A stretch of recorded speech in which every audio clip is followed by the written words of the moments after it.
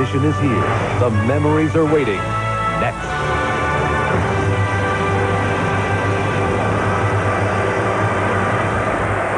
For 21 years, the Minnesota Twins called Metropolitan Stadium home, and there were some superb seasons at the Met, sparked by the Harmon Killebrew. The Twins made it to the World Series in 1965 and to the playoffs in 1969 and 1970.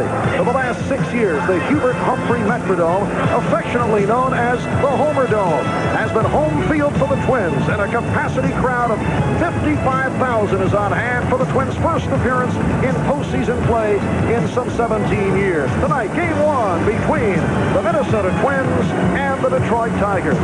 Hi, everybody. I'm Marv Albert, and welcome to the start of our prime time playoff coverage. A little bit later on, Bob Costas and Tony Kubek will be on hand to bring you the play-by-play. It will be 37-year-old Doyle Alexander for the Tigers. He has been perfect since coming over from Atlanta with a record of 9-0. And oh the Twins, the left-hander, 17-game winner, Frank Viola. Now, this afternoon, many of you saw the first part of our baseball doubleheader here on NBC, a game that had the Giants blanking the Cardinals 5-0 to even up the series at 1-1. Bill Macatee has this report. Well, it was the Giants who got out quickly today as John Tudor ran a fastball inside on Will Clark in the second. And Clark responded with his two-run home run. The Giants led it 2 to nothing. That would stand up, but in the fourth, Jeffrey Leonard, who had a home run last night, comes right back into almost the exact same spot. Hits his second home run of the series, a solo shot. Meanwhile, the Cardinals' troubles were illustrated by this rare error by the game's best defensive shortstop, Ozzie Smith in the eighth. Dravecky goes the distance, a two-hit shutout. And the Giants go back to Candlestick with the series even at one. Enjoy the game tonight. Back tomorrow. Thanks, Bill. And while the Cardinals and the Giants are already two games into their uh, playoff series, manager Tom Kelly of Minnesota and manager Sparky Anderson of Detroit are getting set for game one. Now, Tom at 37 is the youngest manager in the major leagues. Are there butterflies concerning tonight? Oh, I can't uh, lie, Marv. Uh, definitely, I'm a little bit nervous. I was nervous as early as 10 o'clock this morning and uh, got to the ballpark, I guess, 9.30 or so. So uh, we visited the bathroom twice already. So Oh, I guess I'm nervous. Very, very nice. Uh, Sparky can certainly relate to that, I guess. I can't. I'm Yeah. just like Tommy. They tell me, they say after you've been in a few times, you don't get nervous. I was telling Tom, if you don't get nervous at this, you don't belong in the game. Now, the Twins concluded the season by losing their last five games. Not the way you want to come into tonight. Is that a concern? no, Marv, not at all. Uh, my guys are ready. Uh, we played a lot of different people uh, the last week of the season. We rearranged our pitching. We, we got some people some work that uh, needed it. Uh, they're going to be on our roster out of the bullpen. And we just changed a lot of different things around and put some people at different positions. And subsequently we lost some ball games. But uh, the guys are ready to play. We had two good workout days, and they're enthusiastic. And I believe we're going to put on a good show. On the other hand, the Tigers finished in spectacular fashion, but are you worried about a, a letdown? No, we'll have no letdown. I said it before it starts. If Minnesota beats us, they're going to beat the best team in the American League because that's what we've been all year. And if they beat us, they deserve to beat us. But if we beat them, then we deserve to win too. Any managerial advice from the veteran to the uh, rookie MGR? I do like I do. I keep my feet out of the runway so I don't trip nobody. And I've always said this is a player's game, and I'm not going to have much to do with it. Okay, and Tom is writing that down right now. Okay, Sparky Anderson and Tom Kelly will be back with a look at the mysteries of the Metrodome in just a moment. And this American League Championship Series pregame show is brought to you by Taco Bell. Say hello to fresh, exciting taste.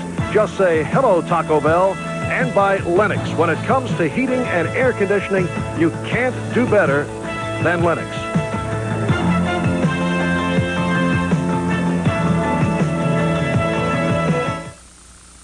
to the Twin Cities. We are at the Metrodome in Minneapolis, which has not been a favorite ballpark for the opposition. In fact, to visiting teams, the Hubert H. Humphrey Metrodome is a sinister edifice. The primary cause of such trepidation is Minnesota's record at home this season. 56 up, 25 down. Opponents have even turned to the bizarre in search of a reason for the Twins' dominance at home. I know they have better cuts at curveballs that are pretty good curveballs at home than they do on the road, which leads me to one thing. Maybe they're getting the signs. Some people also believe that the Twins hitters might be getting the signals from the center field cameraman or some accomplice that might be out there helping him. But that center field area is always packed, and uh, they all seem to have good cuts at home and not on the road, and the record indicates they play well. I think they're getting a sign somewhere. The next item would be the air conditioning system in the Metrodome. A lot of teams theorize that the air conditioning can be turned on and off to the Twins' liking, which would govern the flight of the baseball, meaning that the ball could carry a lot farther or could not carry at all. A lot of people think that the lights in the Metrodome in the outfield are far below standards. It seems to me that there's at least one questionable ball hit every game into, let's call it the Metrodome Triangle, where it's completely lost. But a visiting team playing six games there during the course of a season really has trouble following the flight of the ball in the dome. For their part, the Twins perpetuate the aura of their home field advantage at every opportunity. The reason why we play so well in the dome is because we turn the fans on when we hit for home runs and blow them in when the other team's hitting. Well, I guess things can be on the humorous side when you're 56 and 25 at home. Throughout our coverage of this American League Championship Series, we are delighted to be joined by Don Sutton of the California Angels, a man who has won 321 games, a future Hall of Famer, a man who says he doesn't mind at all pitching here at the Metrodome. But, Don, how do you react to the charges that have been made about this ballpark? Well, I think it's kind of stupid to think you could recycle the air conditioning, but as far as being familiar with the, all the conditions, it has to help playing 81 games here.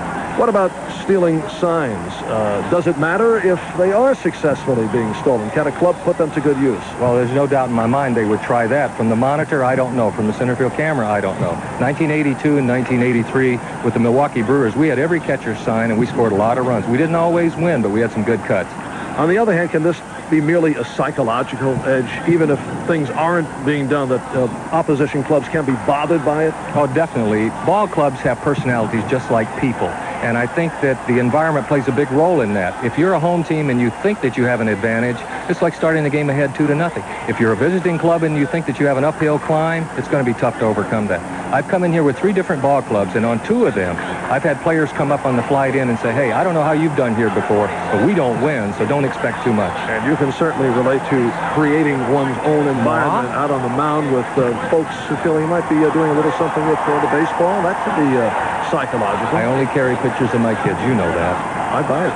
Perfect. We'll be back with the uh, wild and the wacky involving the Tigers and the Twins.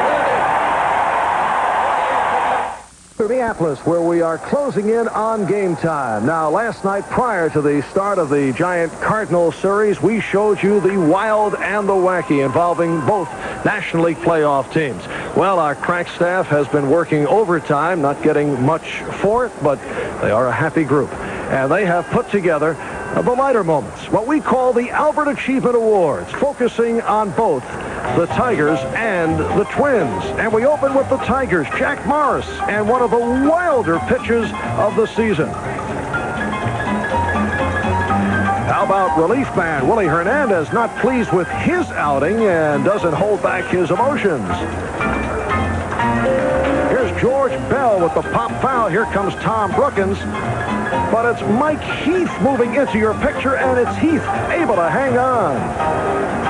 Not the case here. Chet Lemon with a problem losing it in the lights. And last week, the photographers who are allowed on the field in Detroit are sent every which way. The Minnesota Twins also had their share of adventures. During a pregame TV interview, an unsuspecting Joe Niekro takes an errant throw off the shoulder.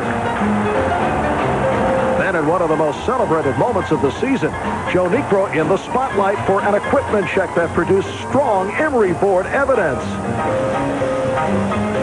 Off the fly to center, Kirby Puckett able to successfully fend off the Seagulls in Toronto. First baseman Ken Hrbek not able to fend off this bouncer. And Tom Brunansky, the victim of the most unique hit by pitch of the year, takes it in the armpit and uh, takes it well. So much for the wild and the wacky. And for the Twins and the Tigers, there was nothing at all wacky about their run to their division titles. Capped off by these memorable moments. Hrbek plays behind him, and a little fly ball to the second baseman. Throws it, throw to first, they got it! The Twins win the championship. Twins win by three. Tapper could be the ball game. Tanana, Evans, Tigers, champion. And now the Tigers and the Twins vie for the American League pennant in game one of their best of seven. For the introduction of the lineups, let's go to Minnesota Public Address announcer Bob Casey. Thank you, ladies and gentlemen, and good evening, and welcome to the Hubert Horatio Humphrey Metrodome and the first game of the American League Championship Series. And now, ladies and gentlemen, for the Detroit Tigers starting lineup for game one. The only manager with 100 win seasons and world championships in both leagues. Number 11, manager Sparky Anderson. A 10-year veteran who gets better with age. Number one, second baseman Lou Whitaker. A four-time National League batting champion, number seven designated hitter Bill Madlock. With great speed and power, number 23 left fielder Kirk Gibson. The odds-on favorite to be the American League's MVP, number three shortstop Alan Trammell.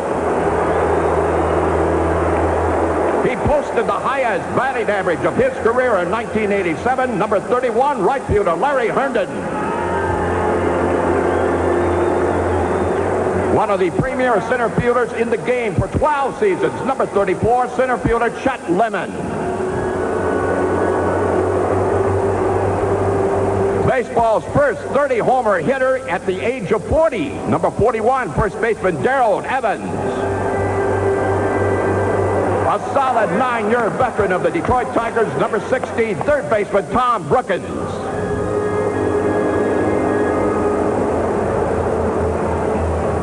A great throwing arm and a competitive, spirited player, number eight catcher Mike Heath. And warming up in the bullpen, one of the great comeback stories of many years, number 19 pitcher Doyle Alexander. And now, ladies and gentlemen, let's welcome tonight's starters for our Western Division champion Minnesota Twins.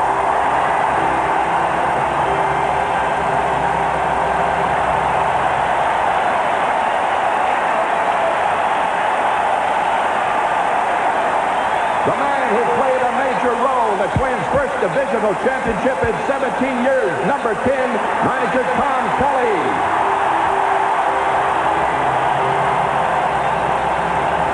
A spark from a spark plug from the old school, number 32, left fielder Dan Gladden.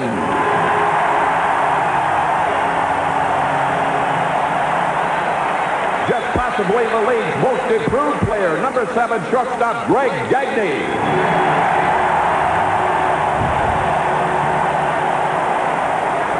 The complete player, baseball's home run robber, number 34, center fielder Curtis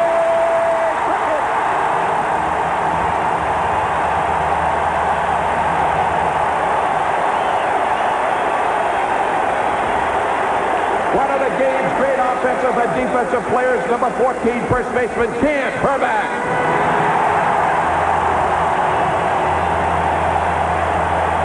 A marvel at third base and a terror in the clutch, number eight, third baseman Gary Gaetti.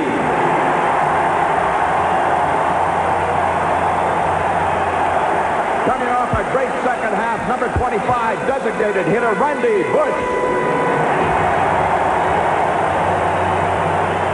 One of the Twins' three 30 home run hitters, number 24, right fielder Tom Brunansky.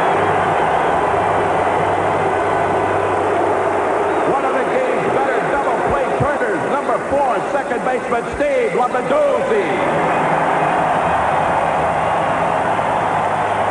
A hometown favorite with outstanding power, number 15 catcher Tim Laudner.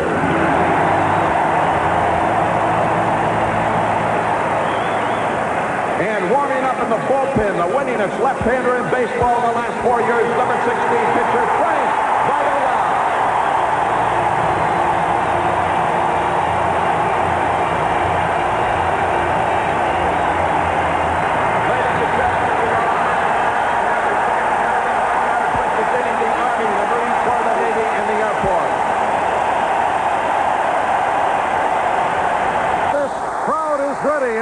Frank Viola.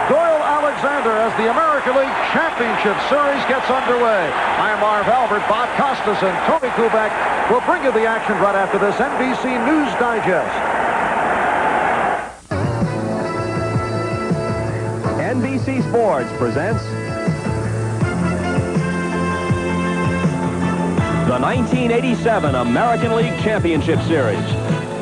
Tonight from the Hubert H. Humphrey Metrodome, it's the Detroit Tigers versus the Minnesota Twins. And it's brought to you by the Miller Brewing Company, sole sponsor of the U.S. Olympic Training Centers. By Pontiac, America's road car company. Pontiac, we build excitement.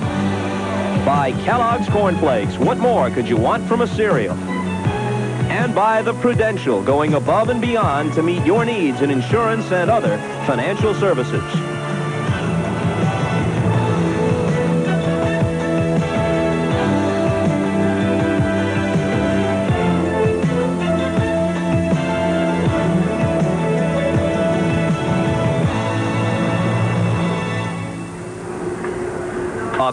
Cool, clear October night in the Twin Cities. Temperatures in the high 40s as game time approaches. But of course, that's outside. Inside, in the controlled conditions of the Metrodome, the Twins have thrived. The best home record in all of baseball. Hi, everybody. Bob Costas, along with Tony Kubek. Welcome to this best of seven battle for a ticket to the World Series. Now, when you talk about the surprising Twins and their great home record, there's a flip side to that story. Yes, they were best at home of all 26 teams in the majors, but they also had the worst road record of any division or pennant winner in the history of baseball.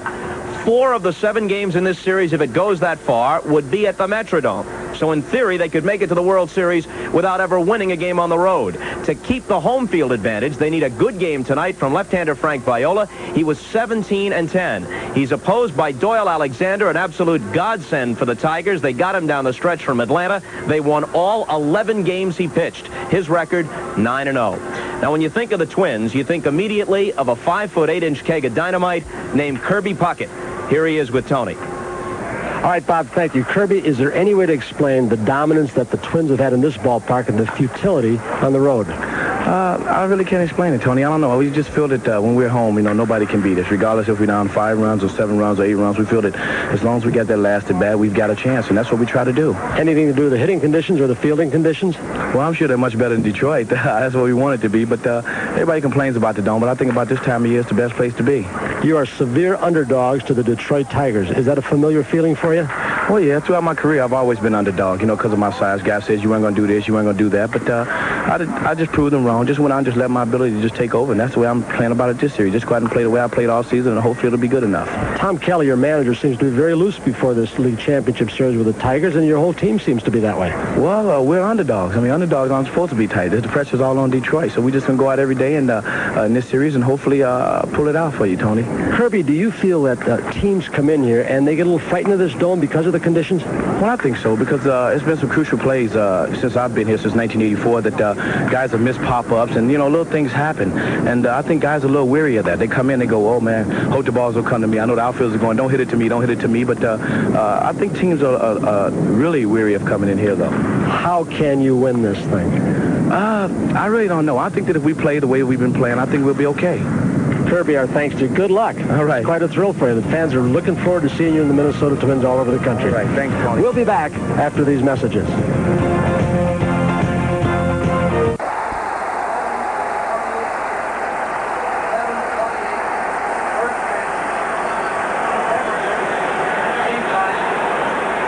Be Madlock, a key man for Sparky Anderson. Against left-handers this year, the Tigers are just two over 500. They're 71 and 39 against right-handers, so they don't have that much strong right-handed hitting. They got Madlock and Morrison after the start of the season to bolster themselves in that area. Fastball foul back. And remember that Madlock has gotten those 50 RBIs in just over 70 ball games, so he's been a big plus from the right side. Viola, perhaps, next to Mark Langston of Seattle, has the best raw stuff among any left-hander in the American League, including Higuera, Key, Leibrandt, and even Bruce Hurst.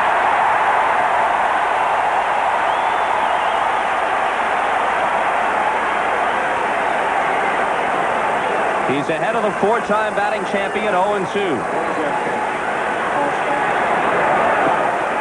And it dips low. The plate up is Joe Brinkman. Durwood Merrill at first. Drew Coble at second. Al Clark at third. Right field line manned by Jim McKean. Left field line Mike Reilly. The one-two.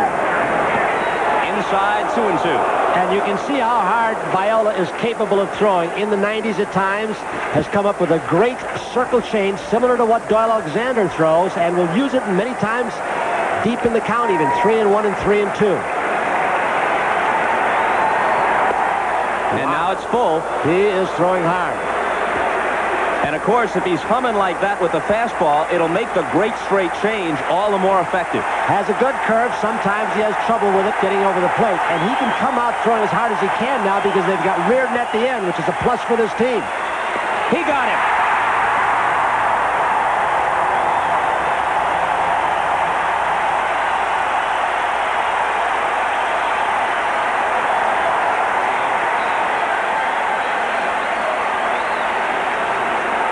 Two out, nobody on, top half of the first. And here's the MVP of the 84 League Championship Series, Kirk Gibson.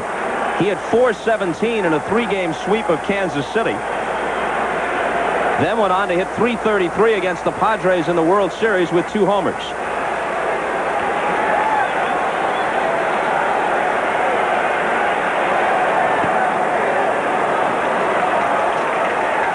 Kirk Gibson appears, Bob, since that three-game series in Detroit, like he's moved off the plate against left-handed pitchers. He wasn't that far off the plate. He's maybe going to go into the ball and hit the ball straight away or to left field off Viola, or at least try to.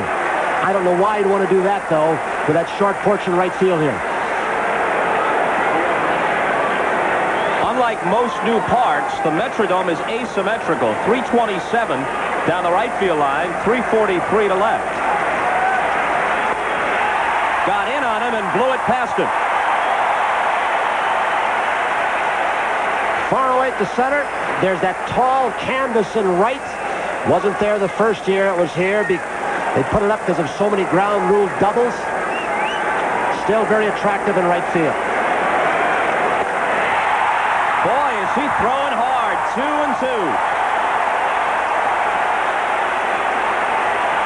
This might be adrenaline. That can put a couple extra miles per hour on your fastball. And sometimes the adrenaline early pumps too hard and you throw yourself out. But again, they know Reardon's there for the eighth and ninth, something they didn't have last year or the year before. They do not have to pace themselves and save anything for the last couple of innings. Not anymore with this Twins pitching staff. Blew him away.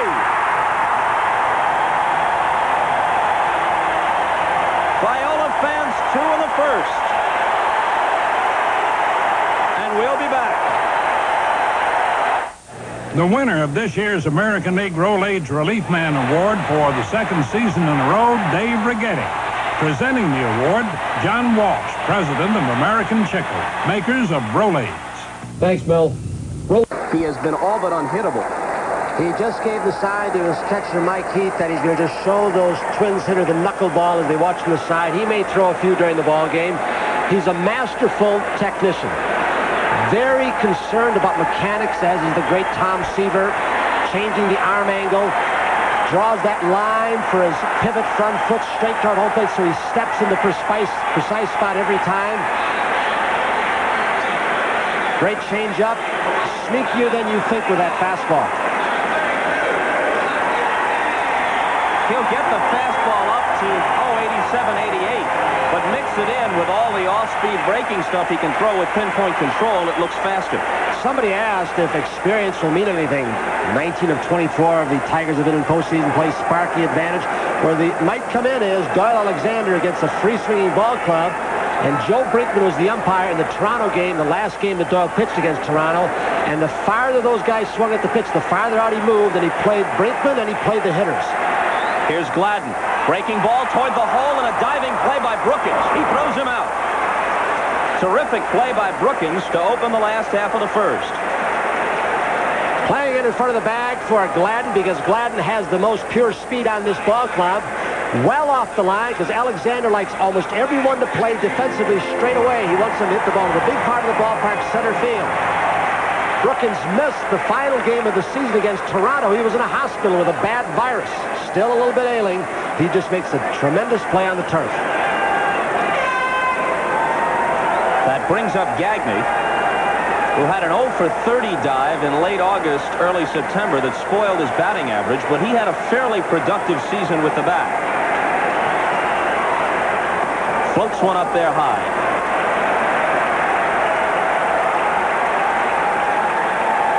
Alexander has been traded seven times, been a free agent twice, released once, He's seen it all in a long big league career. Comes sidearm for a strike. And right there you saw the sidearm fastball that was right near the outer edge. And if Brinkman gives Alexander that pitch, as he goes along with a series of pitches, Heath will move farther outside and keep testing Joe Brinkman to see what he'll give him.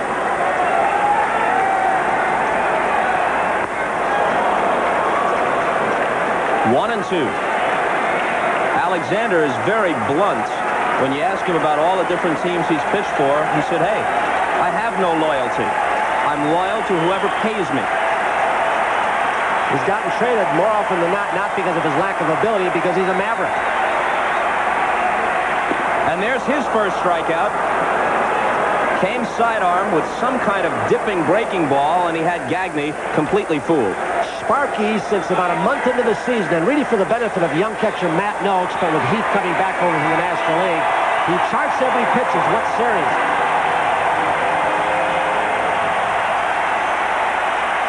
All right, here he is.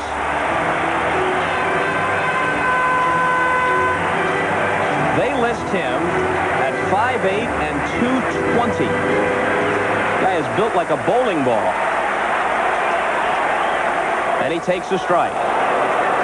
Kirby is 26 years old. You saw the power numbers with the 20 Kirby for the Supreme Court. I thought he's running for governor with Brunansky as uh, campaign manager. you saw his power numbers. You know, coming into last season, he had four lifetime homers and over 1,200 at-bats. This one is out of play. Then last year he explodes for 31 homers, and this year tacks on 28. Well, everybody knows by now, just look at the body. He was into weightlifting. The smallest kid on the block, and he was expected to be a leadoff hitter, hit the ball on the ground and run like heck and hit for singles until Tony Oliva got hold of him before last year. 0-2 pitch in the dirt. This Twins team does not like to take a lot of base on balls. Brunansky and Hrbek will take some, but most of the team is a free swinging ball club, and that's why in Alexander, with all the different arm angles, change of speeds, if they want to get themselves out, he won't throw them strikes. Two and two to Kirby Puckett with Kent Hrbek on deck.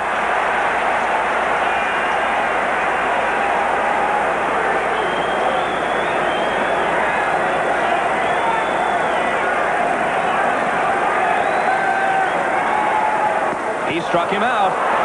So both Viola and Alexander fan two in the first. To the top of the second we go, and we'll return to the Metrodome in a minute.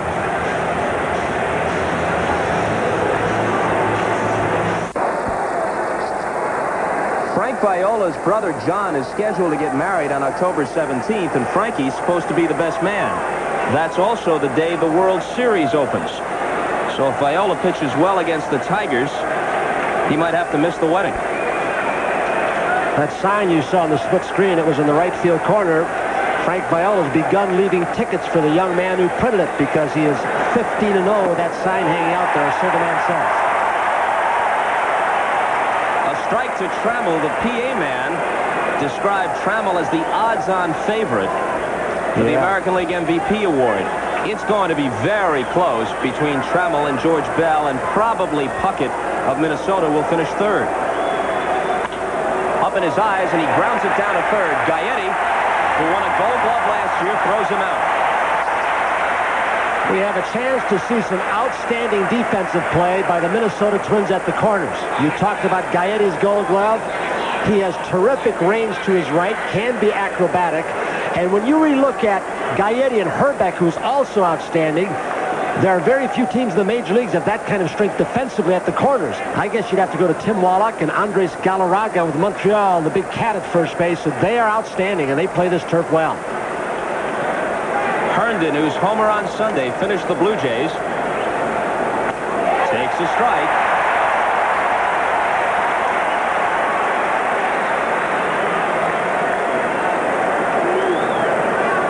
Platoons now in right field with Pat Sheridan starting against the left-hander. Just low. That will be interesting, Bob, and uh, Sparky Anderson has not yet said because at the end of the year, Scott Lusader, the kid who was not eligible for postseason play, was platooning with Herndon. After the home run, it was Sheridan slumping at the end. Perhaps Herndon will play against all kinds of pitching. Here's a fastball and a towering fly ball toward the right field line. And Brunansky for the catch. And you will notice Minnesota outfielders and infielders do not take their eye off the ball. It is not as bad as it was two years ago. They've added extra lighting. You see visiting players come in, they find the ball off the bat, pick a spot to run to, and they can no longer find the ball. But these Twins players, since the speakers you see, they put additional lights two years ago to take some of the shadows away. It has helped defensively on pop-ups, but still can be a problem at times. They also changed the turf two years ago. It is not nearly as springy as it used to be. You'll still get AstroTurf extra base hits as you would in Toronto or at the Kingdome or in St. Louis. But it used to be a travesty here. It's improved somewhat. Lemon takes exchange for a strike. That's what Dick Such, the Twins pitching coach, has worked long and hard in Viola. Change speeds on your curveball. Do different things with your fastball. There he just ran and sunk the fastball away instead of coming in with the real hard one he threw in the first inning.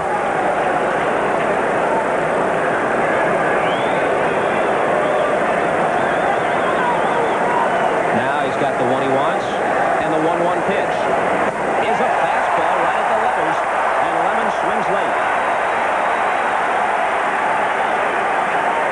They are underdogs, but Viola and Blyleven pitching tomorrow very capable of shutting out any team in baseball on any given day.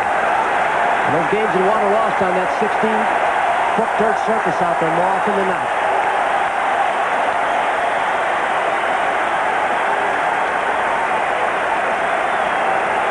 One and two. Viola got two strikeouts in the first.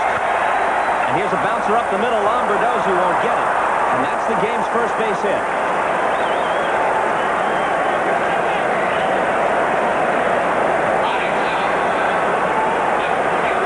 Grammas, the third base coach for the Tigers, will not try too many things, nor will these base runners like Lemon on the center field arm of Puckett. Grammas knows it's a fast surface. Puckett has great hands, not on ground balls and fly balls. One of the strongest, most accurate arms. So Tracewski and Grammas, first and third base coaches, will not run a whole lot on Puckett's arm. The continuing marvel, Darrell Evans steps in, 34 homers at the age of 40.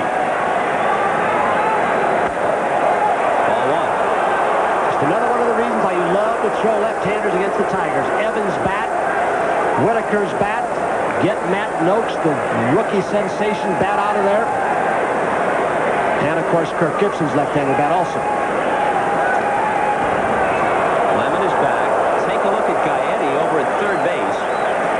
He's given Evans all of the line over toward the shortstop's position. Meanwhile, Gagne's practically back of second.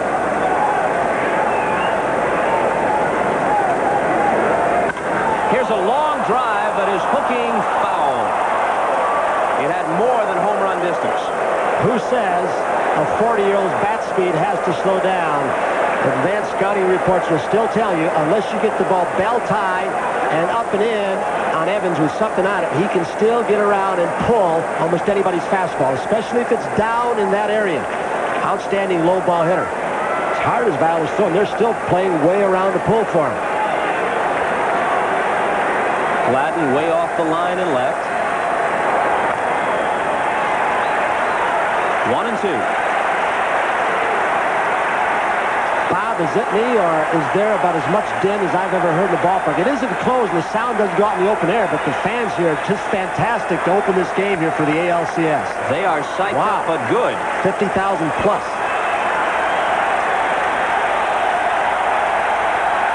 The one-two pitch. And it holds there. As a traditionalist, and I know you're one too, Tony, you can't like dome stadiums, but one thing you have to say, you go to a football game when the Seahawks play, or baseball last year in the playoffs, the Astros and Mets, or the atmosphere here, it can really get to a fever pitch. But it has, and only in game one. It's a home field advantage, almost like a basketball game in that sense. Another one-two pitch.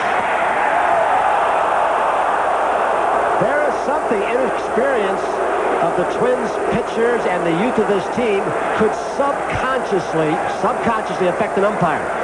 Doyle Alexander, experienced known as a control pitcher, may get more of the outside corner. That pitch like it was right on the edge to Evans, and the call as Viola really was walking to the dugout went to Evans. Of course, Evans has walked 100 times this year. That makes a difference also.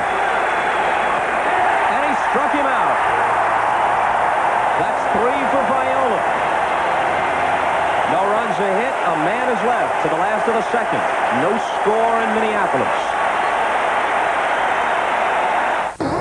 See the plexiglass atop the left field fence. When the turf was so springy a few years ago, virtually any fly ball that landed within 20 feet of the fence kangarooed over for a ground rule double. So they put the plexiglass atop it. That's now 13 feet high. But that fence is only 7 feet high, and that allows Kirby Puckett to get back there. And though he's only 5'8", he can dunk a basketball. He's able to leap up over that and pull potential home runs back. And then the blue monster out there in right field with the canvas, it's 23 feet high and just 327 down the line. It's a curtain. Some derisively have called it a hefty bag. You know, Bob, uh, with the old turf and with the conditions before, our condition where the ball made it more bouncy and traveled farther, there was like one or two ground rule doubles every single series of the year. This year, there are 15 or 16 ground rule doubles because of the turf, of course. Not as lively. Here's the man they're going to pitcher out, the right-handed pitchers, and it's all right-handed pitchers scheduled at this point for Sparky Anderson the first three games, starting. And he might not use Tanana in game four. That's fouled to the left and out of play. You can see the little auxiliary boxes there, and that gives less foul territory for the third and first baseman.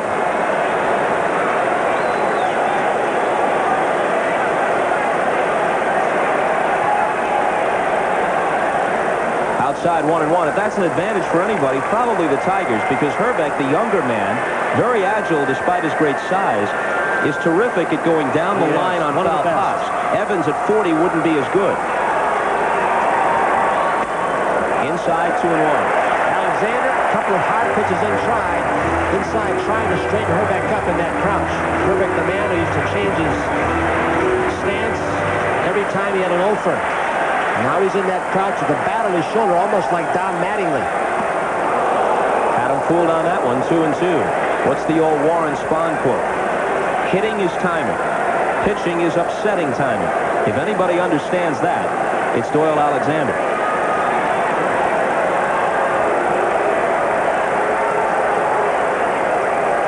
Doyle not sure the count, I believe, wants to make sure.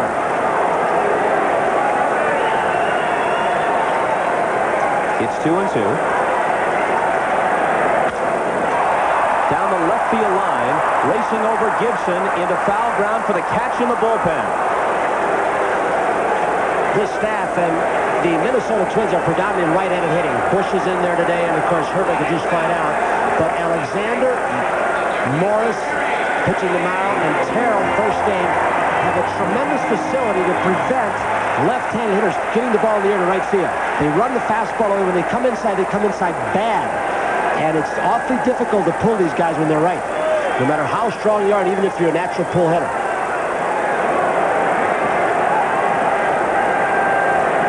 Gaetti takes a ball.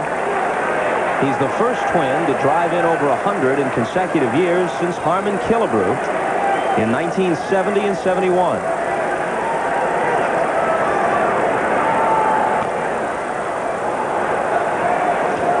You just saw another example of what Doyle Alexander means when he changes the arm angle. Tom Kelly spent a lot of time playing baseball. His father managed in the semi-pro league here, and that's how he got to know Minnesota people. The youngest manager in the majors, Andy MacPhail, from the long line of MacPhails. A great fan of Kelly's, and boy, he's really made a difference along with Reardon with his club. That's fouled out of play. Andy MacPhail is the 34-year-old general manager who teamed with Kelly to take them not only to their first winning season since 1979, but all the way to the top of the American League West. One and two. There he goes playing with the outside corner again, and that's really why you see this kind of defense. Brookens off the line, even for pretty much a pull hitter in Gaetti. Trammell playing straight away, as is the center fielder. But Doyle, when he first came to the ball club, told Sparky in the first pitcher's meeting and catcher's meeting, he said, I want all my guys against everybody to play straight away. I want to make them into the long part of the ballpark. Randy Bush on deck. And here's a long, high drive. Dead center. Lemon back. It's gone.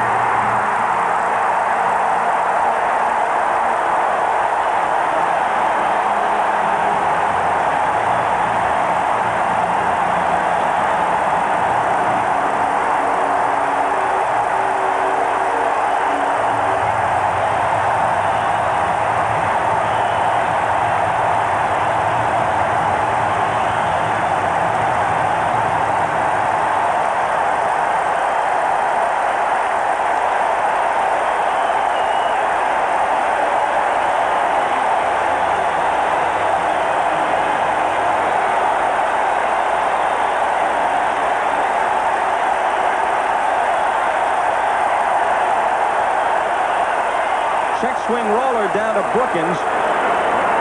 And he throws over to quiet the crowd a little bit. What you saw the folks waving as Gaetti made the tour around the bases.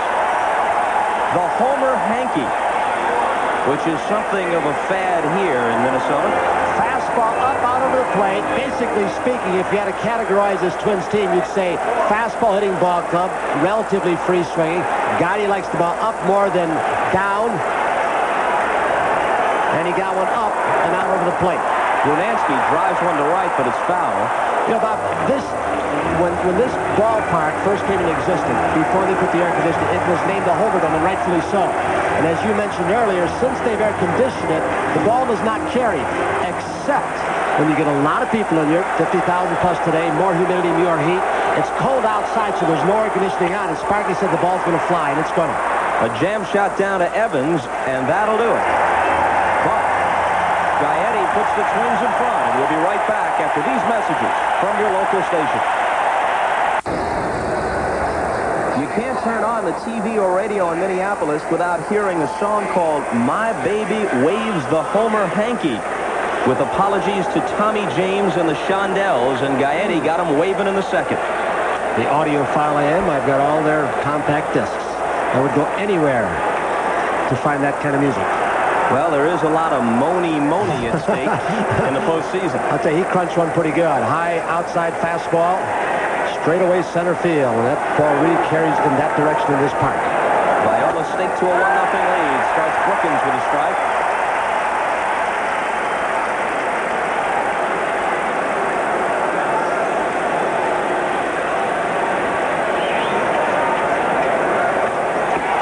Oh and 2.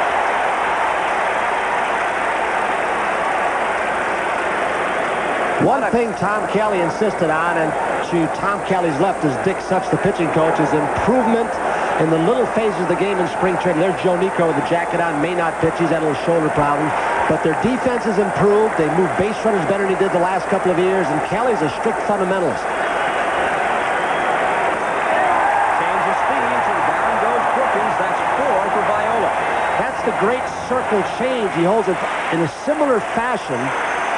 If you want to know what it looks like, you just put your finger together, give the A-OK sign, touch the pointing finger to the thumb, and what Viola does, unlike Doyle Alexander, he spreads his little finger, the one next to wide apart, and rolls off the one finger, looks like a screwball. I believe Don Sutton, who did some pregame work with Marv Albert, throws one like that, and has for years.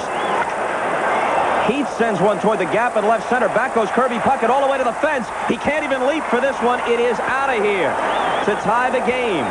And boy, did that ball ever take off.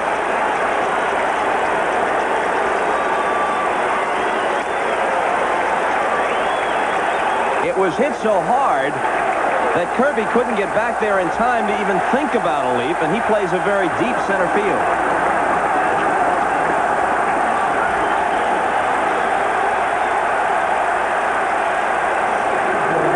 So Heath, who hit eight during the regular season.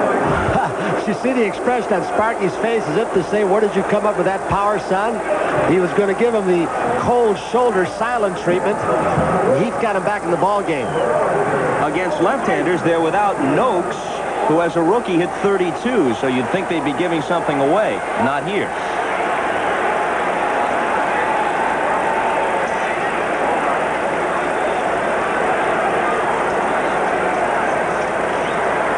Amazing how quiet 50,000 can be. A ball to Whitaker. Usually early in the game, and that's why it was kind of strange. Whitaker jumped on the first pitch. Madlock swung on the first pitch before he struck out. The Tigers like to make you throw a lot of pitches. They're experienced. They want to see everything you've got, try and wear you down. And middle relief at times has been a problem for Minnesota till they get to Reardon course, the Tigers have had a similar kind of problem. Relief pitching except for Henneman.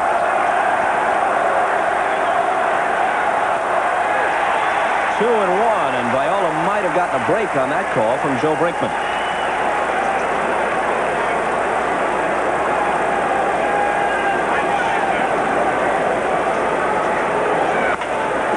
Hard shot. Hrbek has it. Kelly flatly says that Hrbek is the best defensive first baseman in the American League and he's mindful of how good Don Mattingly is, but Hrbek is his choice.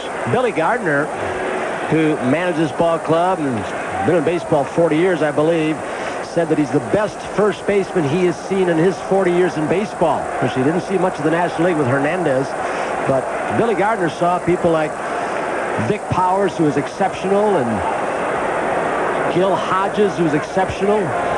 Ferris Fain, who is a left-handed thrower, but Hrbek is very agile. But playing with a pull muscle deep in his stomach could affect him before this series is over with. Madlock grounds one foul. We're reminded by Heath's homer that the Tigers led the majors in this homer-happy season with 225, the second highest total for a season in baseball history. Hit his foot in the batter's box. 0-2. Tony Kubek contributed eight or nine to that total of 240. Now remember that 61 was without a designated hitter, as was the 47 Giants and those 56 Reds. And the 63 twins. twins of Allison and Killebrew and the rest. That's a terrific point. Without a DH. Makes the accomplishment all the greater. Viola fan Madlock in the first. And he does it here. Five K's for Viola. But Heath equals Gaetti, and we go to the last half of the third.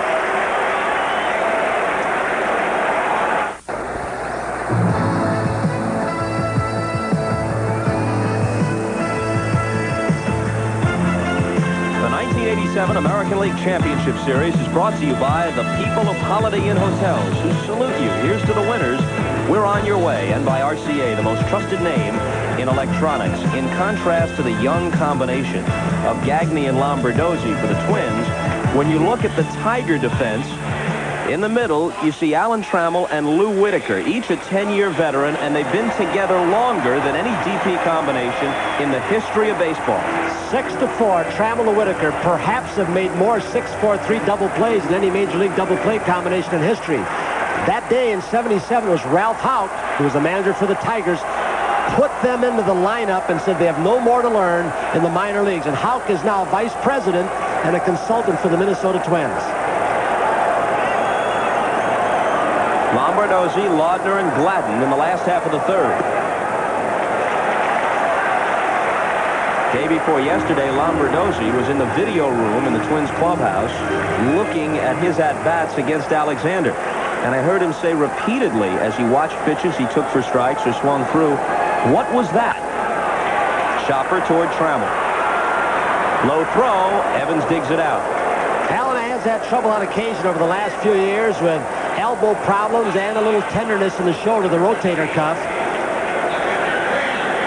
doesn't have quite the zip he had a couple of years ago because of some of those injuries. It's interesting, though, about Lombardozzi. He's as baffled by what Alexander throws as we are sometimes from up here. Isn't everybody? And when the man finishes 9-0, you expect those kinds of finishes from power pitchers, whether it's a Gibson or a Clemens or, or a Koufax. But a finesser like he is, it's an extraordinary finish. The graphic shortchanges Laudner. He's hit 16 home runs, but the batting average was accurate, a buck 90.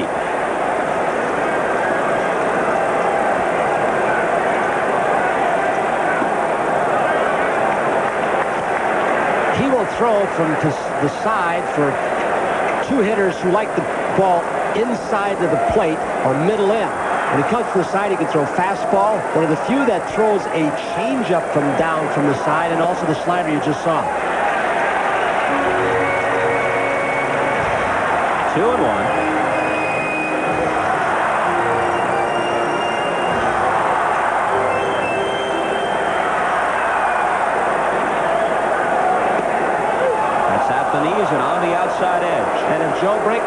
Mentioned this earlier, continues to give that pitch to Doyle Alexander, it could be a long day for the right-handed hitters for the Twins. Doyle Alexander threw that one pitch to Guy up. Now he's back down in the strike zone. When he comes up, he comes up and usually moves the guy off the plate. Laudner fans for the second out in the last half of the third. There's probably no pitcher in either league who can on the hitter's weaknesses, pitch to their strengths. But if you're a low ball hitter, by that I mean he pitches lower than your strike zone. It makes you go after bad low pitches. You like the ball away, he'll pitch away six inches out of the strike zone to make you go at it. So he kind of tantalizes you, and he can execute it. Gladden was robbed on a diving play by Brookens in the first. We looked at Whitaker and Trammell, the veterans up the middle. Now, they help a guy like Alexander because they've been around so long, they'll position themselves and anticipate based on what he's going to throw, and he'll hit the spots consistently. You love to play defense behind a guy like Alexander. Well, as Alan Trammell has said, and Lou Whitaker, who doesn't talk a whole lot, said the same thing. With a guy like Alexander, even more than Morris or Terrell, we can lean. In other words, if the location is put down after the sign, and that particular pitch, Trammell could lean to the middle of the diamond to his left because the target was away, and Doyle Alexander's close to it.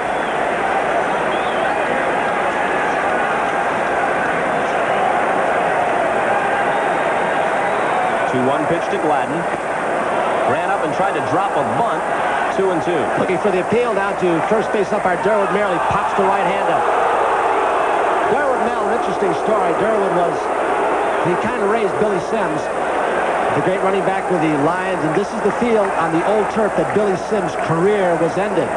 Twisted his knee, tarred up. Here again, that sidearm changeup. And look at the arm speed, and he follows through so and disguises it so well. It was a good pitch to bunt, a changeup. It was way out of the strike zone.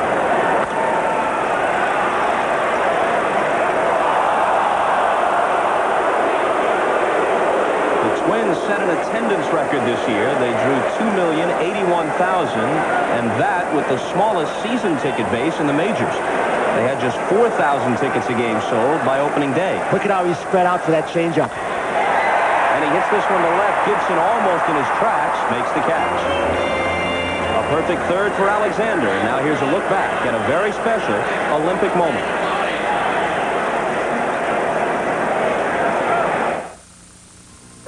An Olympic moment brought to you by the Prudential, offering insurance.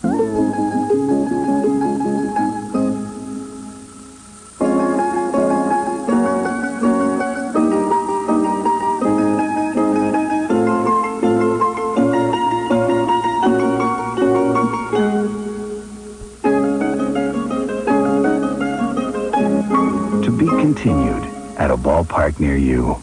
The preceding message was furnished by Major League Baseball.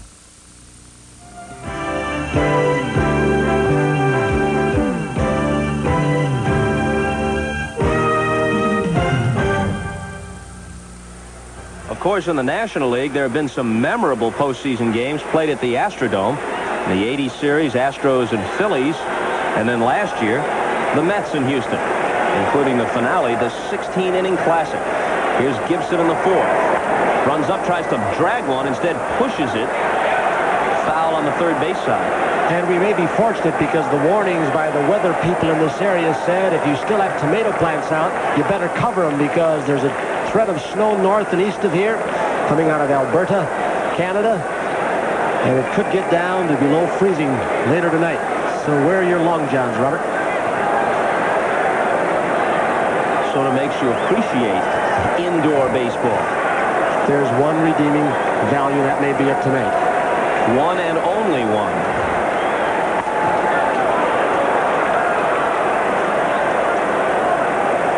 Well, it was 48 at game time. It's already dropped five degrees.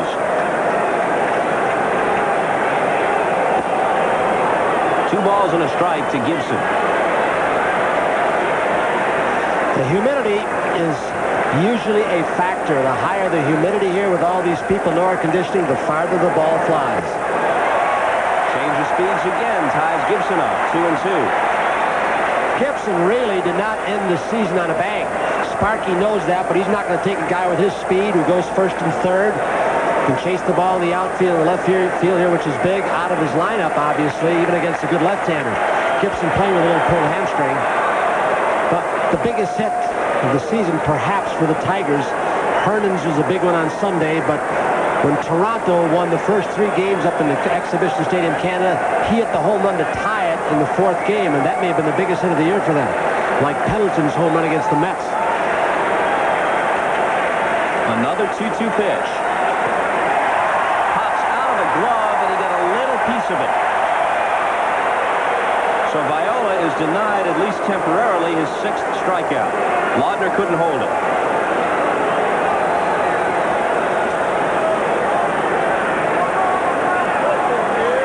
He struck him out on a pitch like that back in the first. And almost duplicated it here.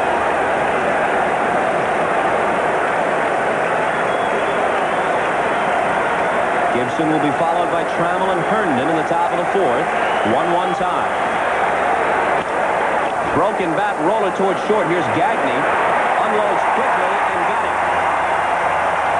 Gagne had him played towards second base. He had to cut back to his right and make a backhand play. Viola saw Gibson's bat off and perhaps the smartest player on this team, and most of the coaches say it, is Greg Gagne, the shortstop. He doesn't have tremendous ability. He's their best base runner. You can see how he played the turf, surrounded it for Gibson's speed, got off a good throw with something on an outstanding throwing arm and very accurate. Travels over 1. Strike one. Well, before the ball game, the PA announcer read some copy written by some PR directors from the American League, approved by the American League, saying the odds-on favorite for MVP is Trammell. Trammell doesn't say that. Lombardozzi goes back to make the catch, and Kirby Puckett barely made it into your picture. He plays a very, very deep center field. What you're looking at between those two, Bell gives you more instant offense. You factor in the defensive of Trammell, a one of the most important positions aside from catching day in and day out. Trammell gets points on that. But Trammell also hitting fourth will get a lot of cheap, cheap RBIs, and that's not a knock on Trammell in the Tiger lineup. That's why Sparky hit him fourth, because he doesn't strike out much. He puts the ball in play.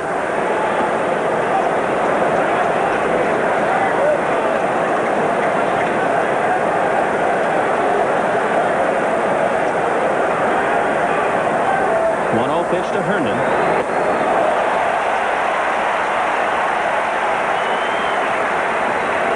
Now his delivery has settled down. That first inning when Viola was throwing so hard, he may have even been overthrowing. The adrenaline, as you said, now he is smooth.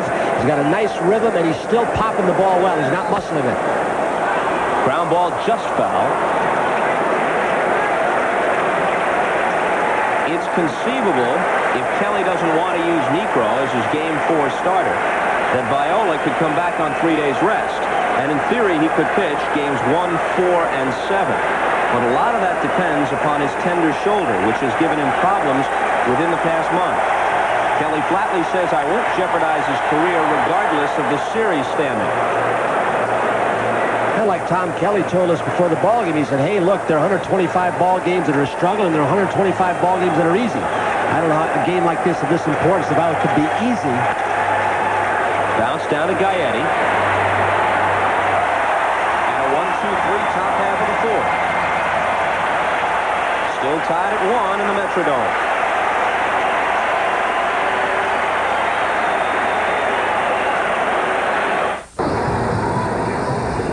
What a contrast when you look at the skippers. Sparky, a household name, been in the World Series five times, won it three. And a guy like Tom Kelly, who could go on What's My Line in full uniform and stump the panel.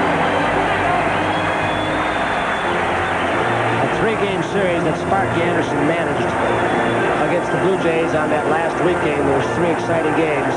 Showed me he's a great manager. He understands pitching, I think. He knew he had to pitch around with Fernandez and Whitt out of the lineup, three and five hitters, which probably sent them here, not Toronto, having those two out. And he just kept pitching around George Bell. Gagne, Puckett, and Hrbek in the fourth. A strike on the outside corner. Or close to the outside corner. And Doyle will keep it out there, too as long as he keeps getting the call. And then what happens is the hitters get closer to the plate if you're right-handed. They start going into the ball to reach the outside corner, and then it makes them inside much more effective where you can bust their bats.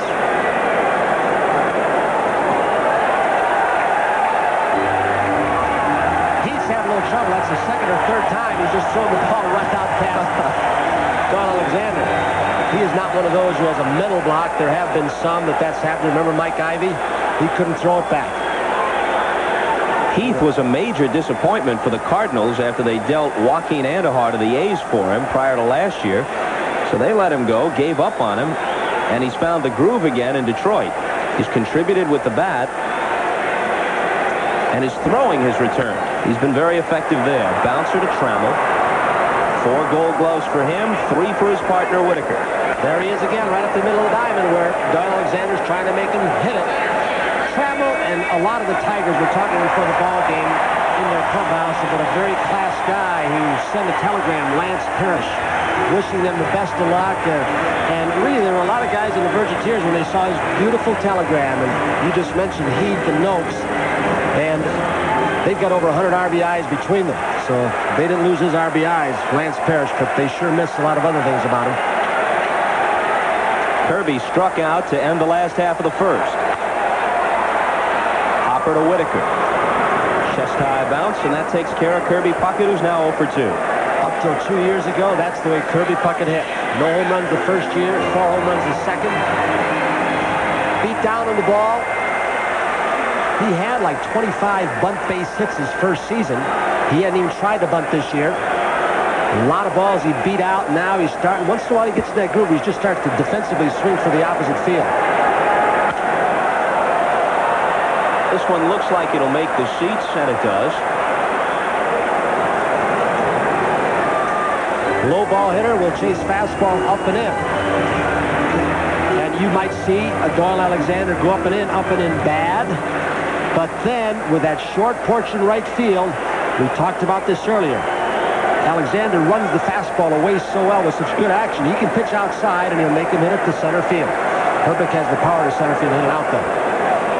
So no matter what scouting reports sometimes tell you, a pitcher has his own idea and he'll do it his own way depending on what pitch is working and the feel he has when he hits the mound. Especially Alexander. Even with a veteran catcher like Heath, Alexander's calling his own game. Own set of signs he brings wherever he goes. So if you try and steal signs from center field camera, you can forget it. He shakes it ahead and wipes with the glove, add, subtract, change location. Here's a drive, and Whitaker leaps to spirit. What the players call an atom ball. Hit hard, but right at him. Back after these messages from your local station.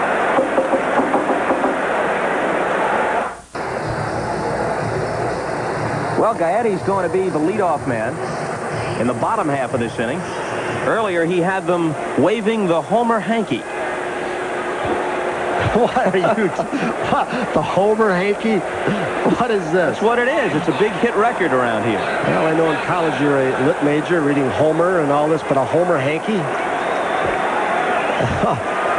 you come up with it, man. Top half of the fifth, Lemon, Evans, and Brookens. If anybody gets on, it'll be Heath. His homer tied the game after Gaetti had given the Twins the brief 1-0 lead. Sky-high pop, Hrbek back, calls Lombardozzi off, and squeezes it. And most first basemen, you mentioned this earlier, Bob, would have just given away to the second baseman. Hrbek with those great hands. Sometimes they put the klutzes at first base who can't move, usually or sometimes can't throw, but not with Hrbek.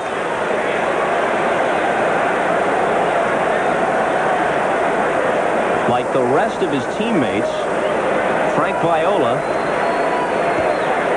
has found home cooking especially tasty. Evans fouls it off. Viola hasn't lost at the Metrodome since May 22nd. The Tigers and Jack Morris beat him that night 3-2. Wasn't it interesting talking to him yesterday during the workout when players are much more accessible before the game, talking about the greatest game he ever saw, the Ron Darling Viola game? Mm. Tell you about it after this pitch to Evans. Took something off, and Evans is out in front. Viola pitching for St. John's and Darling for Yale in an NCAA playoff game. Dueled 12 innings before Viola won it 1-0. He said, I pitched a six-hitter and felt like I was losing because Darling threw a no-hitter through 11. Evans goes the other way, and Gagne can't come up with it. He was trying to shuffle his feet so he could get position. Remember, on the artificial surface, unlike when we go to Detroit for game three, you can go straight at the ball, break your speed by sliding with your right foot in the dirt and even the grass sometimes and come up throwing. Here, you've got to use those little choppy steps or surround the ball to get an angle. And he was starting to use those choppy steps to get position to throw, and he really couldn't get in front of the ball. That is rightly ruled a hit. It might surprise you to learn that the Twins made fewer errors than any team in the American League. Just 98. Brookens. In the air to left center field. Gladden will have room. Back to first goes Evans with two out. Gladden, who has been a surprise, remember with the San Francisco Giants under Frank Robinson a few years back, he was a center fielder, had a high on-base percentage. When they put him to left field, they weren't sure he'd do a good job. That's a pretty big left field out there, and he's really done well, and he's throwing better than they thought he could.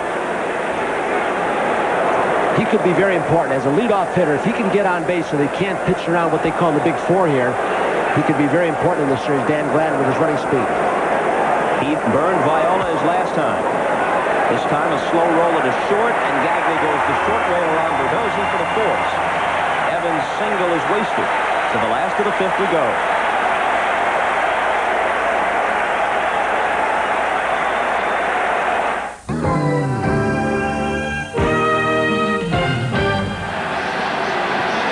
You got to look at tonight's pitching story. Alexander dueling with Viola. And the hitting story thus far, Gaetti and Heath with the solo homers. Two different style of pitchers. Viola pretty much more of a hard throw. Alexander more of a finesser, control, movement on the ball. The G-man, Gary Gaetti. Ralph Houk was talking about him, saying, I don't know how he can drive in 100 runs as he did when most of the bases have been cleared by the hitters hitting in front of him. Puck hitting Hrbek. He said, that's the shows you how many important base hits he's got key situations.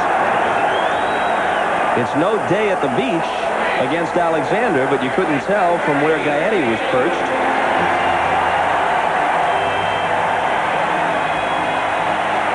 It's not often that you see lovely lawn furniture like that in a big league ballpark.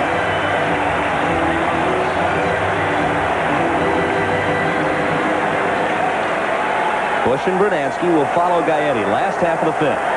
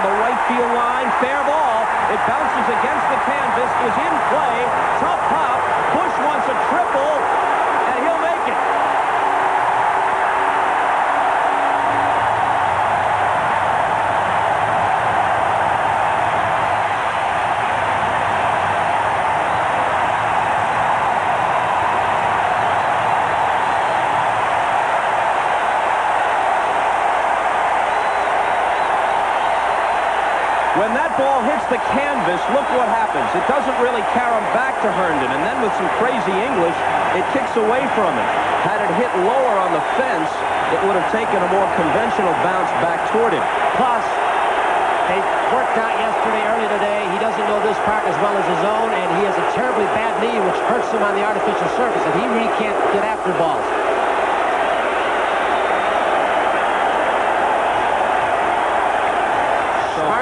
Figuring there are going to be more runs. He's got the infield back all the way. A bullet hit back to Brookens. He might come home. They're going to concede the run this early. So Sparky figures there's going to be a lot more to come in this ball game as far as runs. Bush at third, nobody out. If you get down to the eighth and ninth hitters, Lombardozzi and Laudner, situation changes. But this guy's a slugger. The only thing you got to worry about, the way Viola's been pitching, and with the adrenaline, as you said, going, Reardon's there. And the way he's been pitching, you get into the eighth or ninth, if Viola can't last, it changes. Another extra base hit. In comes Bush. Brunansky has a double.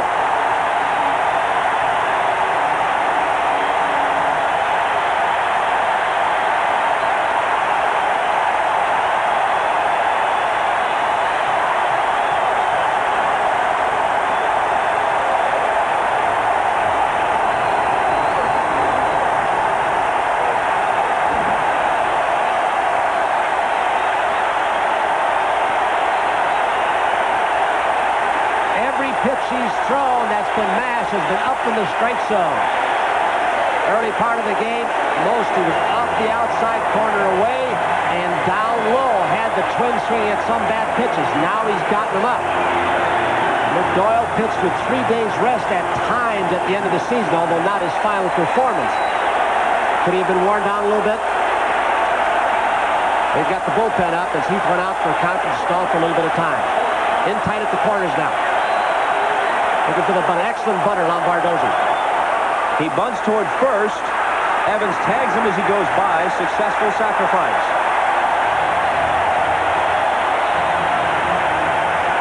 Dan Petry. He fits well in long relief and he faltered as a starter coming off the elbow surgery. And a start late in the season. Didn't do well starting. So now there'll be another conference to try and buy some more time for Dan Petry. And would assume infield coming the way, or at least halfway on this artificial surface for Laudner. When you've got a guy like Reardon, it changes the strategy. Tom Kelly about as cool as can be, as you see, but when you've got a closer like Reardon's been for this ball club, you've got to change your defense this early in the game.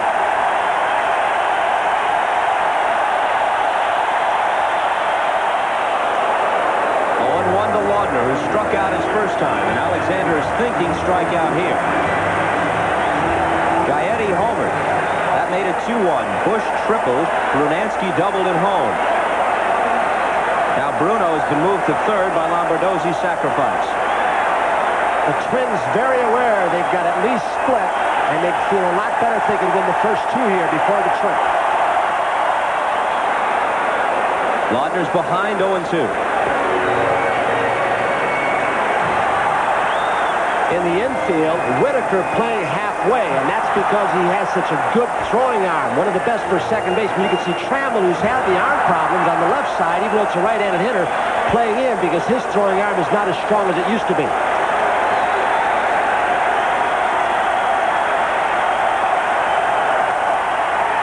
Foul ball.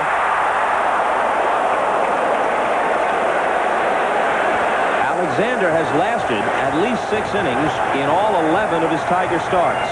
On the ropes here in the fifth.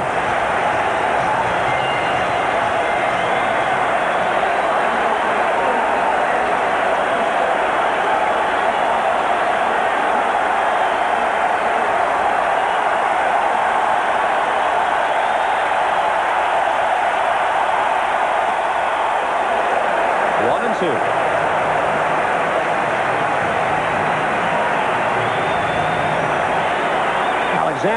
That Laudner, hanging over the plate, maybe looking change-up, and then fouling the fastballs off, came inside once.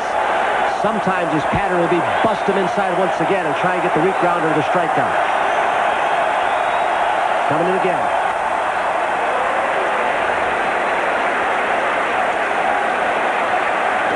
When you see Doyle Alexander sweep down twice, he was either changing the location or adding in, or subtracting to the count. Don Sutton, of course, would know that system. It was taught for years, the Dodger organization, with Doyle Alexander starting, as did Sutton. Alexander trying to finish Laudner, who struck out 80 times in 288 at-bats. What a horrendous ratio.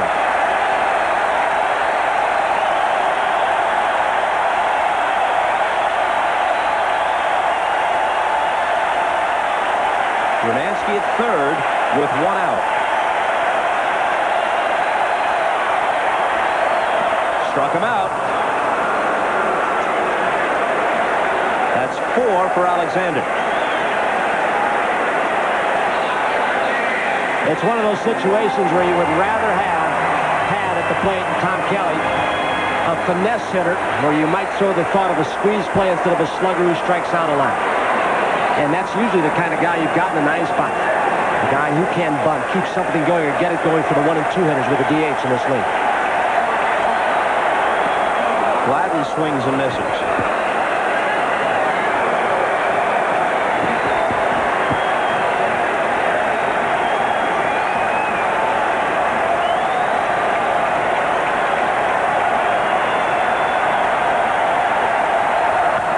This might drop. It does.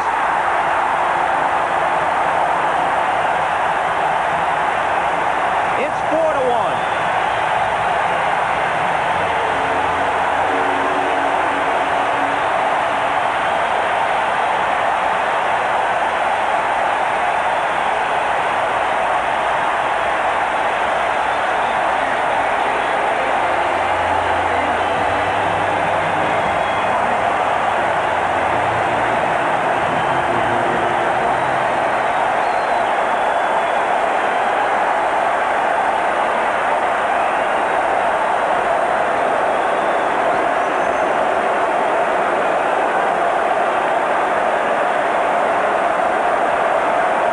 They're real legitimate base stealers on first base right now.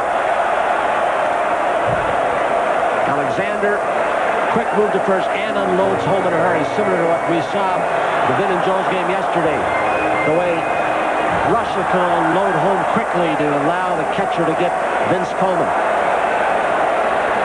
Gladden has swiped 25. Not going. Check swing foul. Gladden some injuries, had a leg problem, which really perhaps cut his base stealing total down. When they knew they wanted to move Kirby Puckett into the three spot to take advantage of his RBI and home run power, they were looking for the leadoff hitter. And this guy came along. Even though his on-base percentage is not that high, he has the ability to get on base.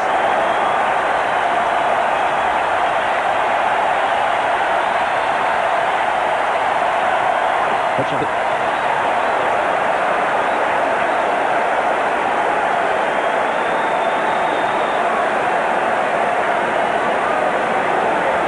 Renick flashing the signs from the third base coach's box. Twiggy, Wayne Terwilliger is the coach at first, veteran baseball man. Diving back is Gladden.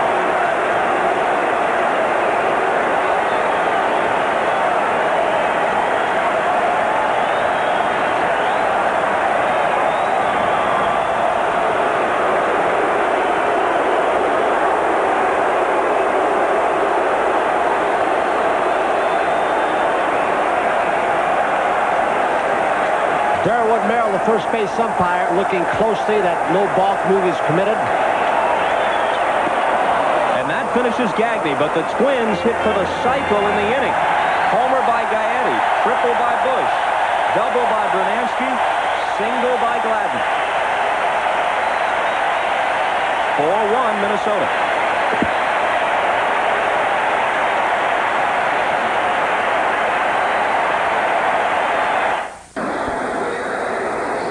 Through the first four innings, Doyle Alexander got very few pitches up in the strike zone and not where he wanted them. He got a high fastball up to Gaetti in the second and a home run to dead center field. And then leading off the fifth, looked like a sidearm off-speed pitch, and Doyle is checking with his catcher, Mike Heath.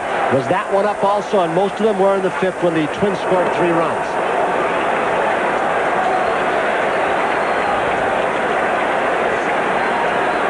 Oh Whitaker leading off in the sixth. Here's the pitch Gaetti crushed.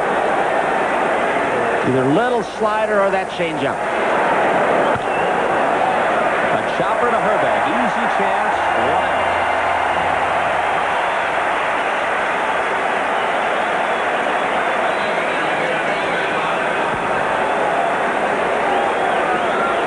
out. Up comes Madlock. Let's see how Viola works to him. Steve Horn charting the pitches for us up here in the booth points out that Viola got him on fastballs, busting him inside in the first. Then in the third, all breaking balls away, and he struck him out with that. This is a weak pop-up, and he's done on the first pitch. Madlock, once again, having difficulty getting around in a fastball up and in. So Viola, who, when he first came up, was a thrower, He's now been able to spot the ball just a little bit. That at bat, it looked like Madlock moved off the plate. You can wait a little bit longer in the fastball. Hit a little bit farther back in the strike zone, but he still couldn't get around on the Viola fastball.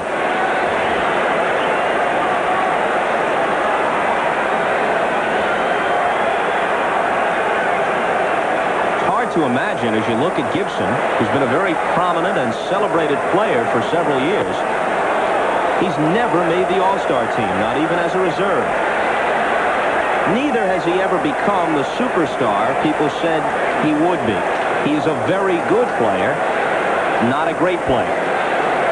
But there are times when he can seize a game with his raw physical talent, as he did in the 84 World Series against the Padres. And Sparky's already admitted when Gibson first came up, the worst statement he ever made was saying that Gibson is like Mickey Mantle. Well, he's got power of Mantle, the speed near Mantle's. Didn't throw like Mickey, but he never had done it. Exuberance is one thing, sacrilege is another. Oh. Hold on to your bubblegum card. in your breast pocket. Two and one. And here's a long blast. Brunansky back. He's a spectator. No, hit the canvas on the backside. Gibson wasn't sure either. He held up until the umpire said, yeah, it did. It's what, over. What Gibby saw was the ripple in the canvas. He thought it hit the canvas and was in play, but it hit Huck the facade and hit the canvas on the backside.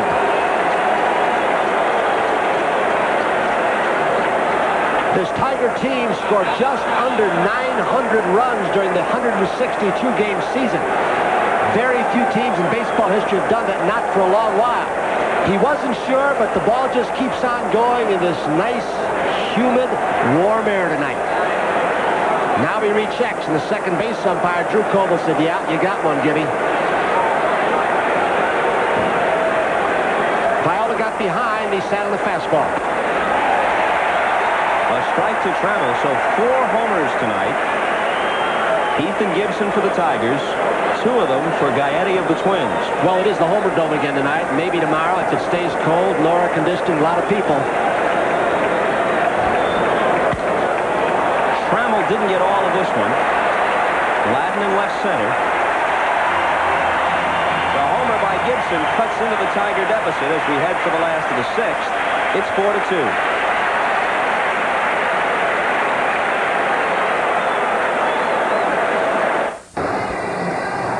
They call it the Homerdome, but truly it hasn't been, as you see several clubs had more sail over the fences in their home parks than did the Twins, and even more revealing. There were 198 homers hit in Twins games here.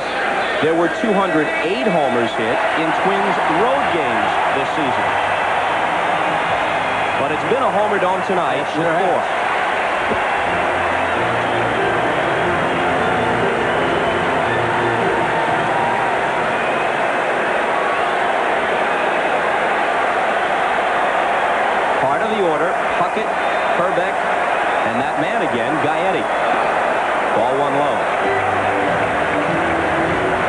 club in baseball history with four 30 home run hitters, Tommy Lasorda's 1977 Dodgers. The Twins came close. Into center field, Lemon got a late break, but he gets there. He plays very deeply, just as you mentioned earlier, that Puckett does. Alexander got a ball into the fists of Kirby, jammed him just a little bit and flared it. Well, the middle relievers have gone down to the bullpen for Tom Kelly's Twins. Schatzeder's down there, the only left-hander. Atherton, Frazier, Berenguer. Joe Niekro may be there, but it's not yet time, perhaps the seventh inning when Reardon will amble down. Hrbek bounces one toward Whitaker. Nonchalantly takes care of it.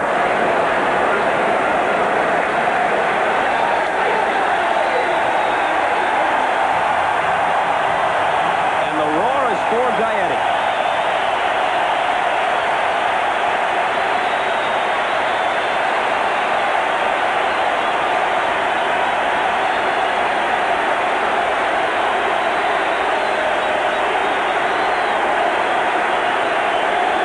Gaetti, Hrbek, and Brunansky all top 30 homers.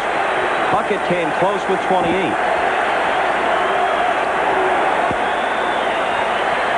little extra and a little more focus on trying to keep the ball this time, at least for the first pitch on Gaetti. Alexander's been burned twice by Gary on balls up and out over the plate.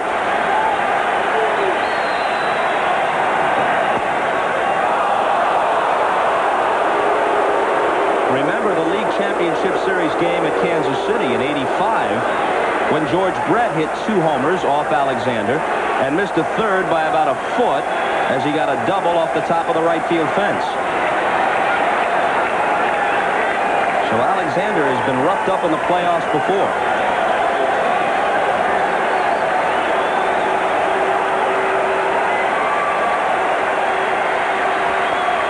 That, of course, was when Doyle was with Toronto. Held up two and one. Gaetti has gotten to the point in his career now where he will look for pitches, change his stance, look away, look in.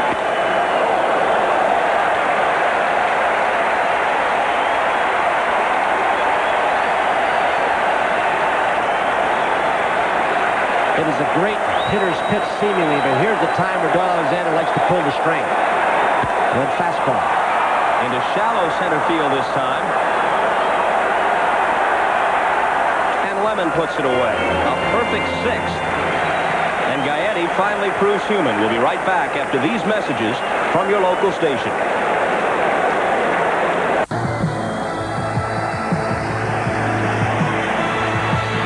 1987 American League Championship Series is brought to you by Acura Legend and Integra Precision Crafted Automobiles exclusively at your Acura dealer and by Dean Witter will help manage your investments based on your individual needs. You know, Bob, they talk about never having enough left-handed pitchers when you're playing the Eastern Division club, whether it's Toronto, the Yankees, or Detroit. Well, Minnesota has just Dan Schatzeder, and he has struggled off and on this year. Some wondered and said, hey, why didn't they have Steve Carlton active? Well, one day, Carlton, lefty, was taken off the roster for paperwork. They activated Don Baylor to get the DH. Don Baylor really hasn't produced that many home runs, none in fact for them. But you wonder if that's going to catch up to them with just Schatzeder. another guy they could have put on the playoff roster, Mike Smithson, who struggled this year, had to be sent down to the minors for a while, but Smithson has twice been a 15-game winner. There's Baylor, who is the only non-pitcher on the Twins' present roster with any postseason experience. And, of course, he's got plenty of it with the Angels, the Orioles, and last year the Red Sox.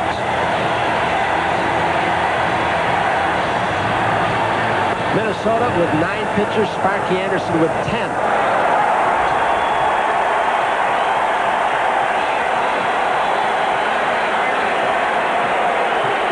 Viola takes a 4-2 lead to the seventh. Just how important is this outing by Viola to the Twins' chances?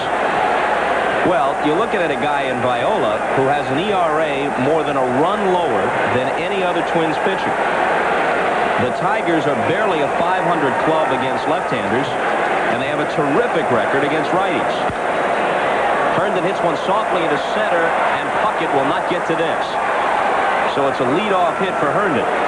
Now, tomorrow night, as good as Bert Blyleven is, you've got a guy who's given up 50 and 46 home runs the last two years, the highest two-season yield in baseball history.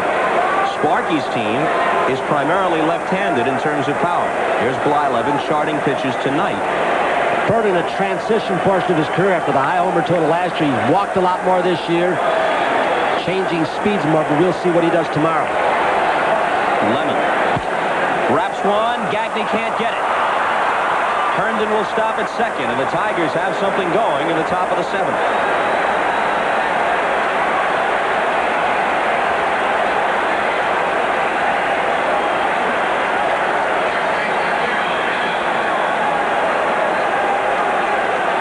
Jeff Reardon next to Tony Oliva, the man, along with Tom Kelly, almost every player said has made the biggest difference on this ball club.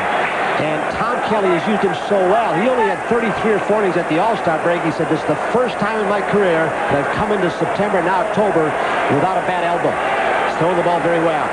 There's St. Thomas and Detroit's collectively.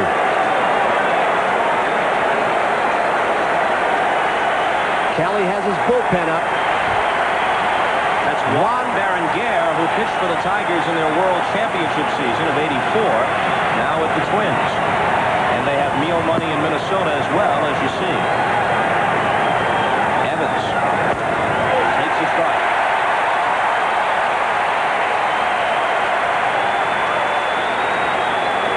So if the Twins relinquish this lead, you really can't like their chances tomorrow night, especially with Jack Morris, who's 12-0 lifetime against Minnesota, set for the Tigers.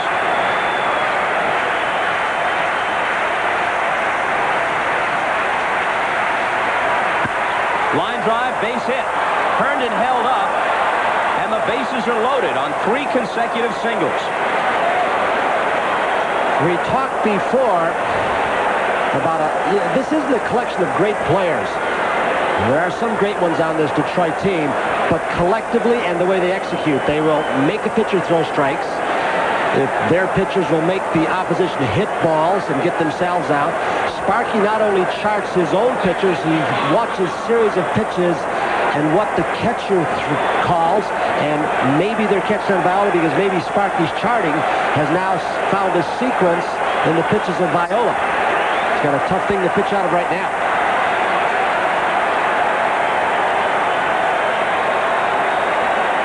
Infield looks for the double play. Brookens 0 for 2.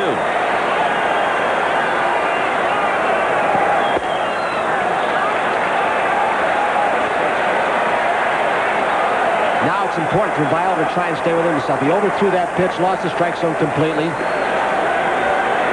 In his past, up until a year or so ago, and he doesn't do it anymore, he was very volatile on the mound. Air behind him, a couple of base hits. Something went wrong, the ball wasn't caught, he could explode. He now has his emotions more under control, and he needs to control them right now.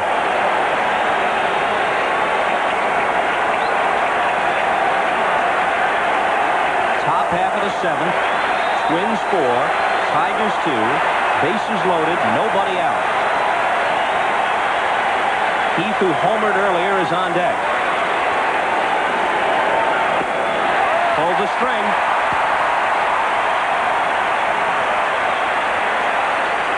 He threw a with-the-seam fastball, a sinker baller's grip, and got the running action, moving away, and also a little sinking action to try and get the double play. Herndon, Lemon, and Evans lead away. Laudner the sign, Viola the pitch.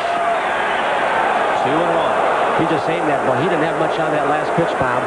He was trying to sink it again, and luckily it drifted out of the strike zone. He didn't have much on it. Not the time to go out there in this situation and say, here it is, the batting practice fastball, which some pitchers throw.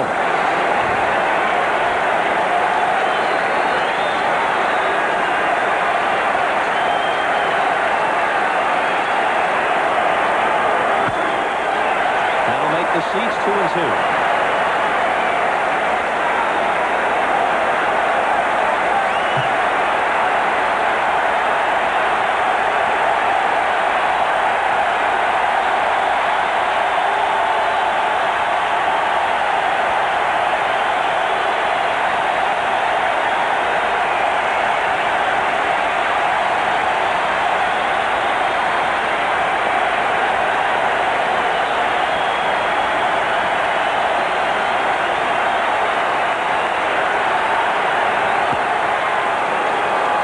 And it'll hold two balls and two strikes. Viola has struck out five, but none since he got Madlock to end the third.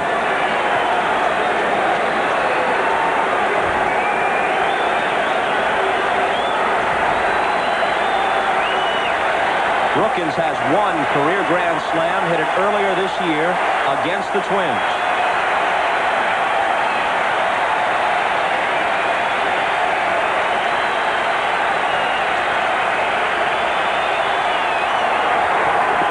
Got him.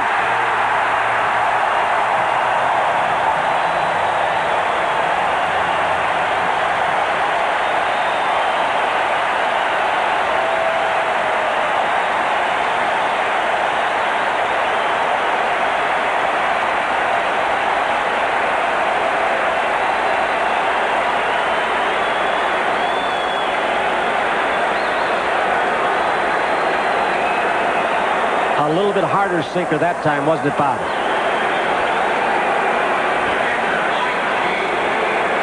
You talked about the composure cited by Kelly and the pitching coach, Dick Such. The way Viola will not be rattled in situations like this, as he might have been a couple of years ago. Gathering himself now to work to Heath, who's homered and grounded out.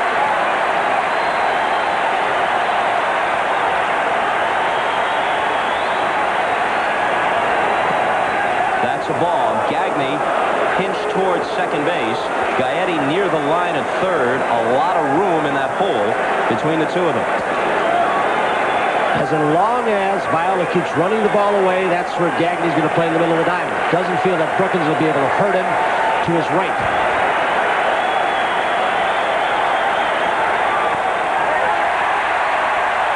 One and one. And he's got a groove on that outside corner now, that sinker.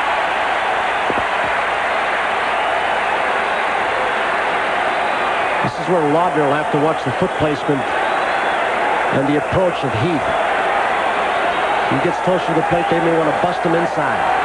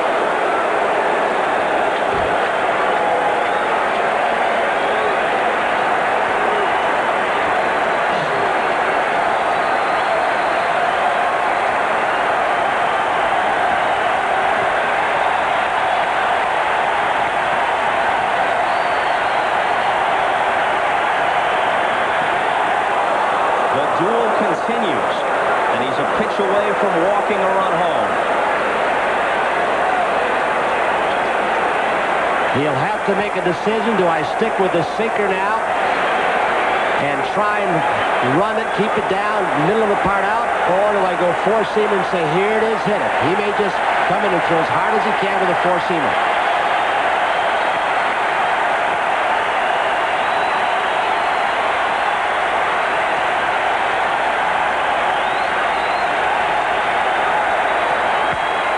drive, base hit that could tie the game. One run home. Puckett with a great arm, and they hold the others. And look at that throw. Alex Grammas knows the arm strength and the accuracy of Puckett, one of the best in this league. He plays deeply, but on this trick, the ball got to him. He went on a three and two pitch, a fastball, four-seamer, had to throw a strike, thought he could pop him up or strike him out. And look at Kirby get a great position throw and a one-hopper to Tim Laudner. The respect that the Greek, Alex Grammas, has for that man's throwing arm. But four singles have drawn Sparky's club to within one, and the bases are loaded with just one out. Brought a trip from Dick Such, who was a pitching coach for the Texas Rangers, with Doug Rader. He's very soft-spoken man who understands people along with the mechanics of pitching. Again, in my mind, and I think in the minds of most other observers, this is the big game for the Twins. No disrespect intended toward Blyleven, who's been one of the game's best pitchers the last decade and a half. But the convergence of factors just doesn't bode well for the Twins tomorrow night. I feel they must get a victory here. Well, the thing about it is, Detroit has been weak against left-handers. You're dealing with one of the best left-handers in the league. You beat him, it's got to be a letdown for this Twins team, although they haven't let down all year for all the adversity they've been in. All right, Whitaker. Possible double play.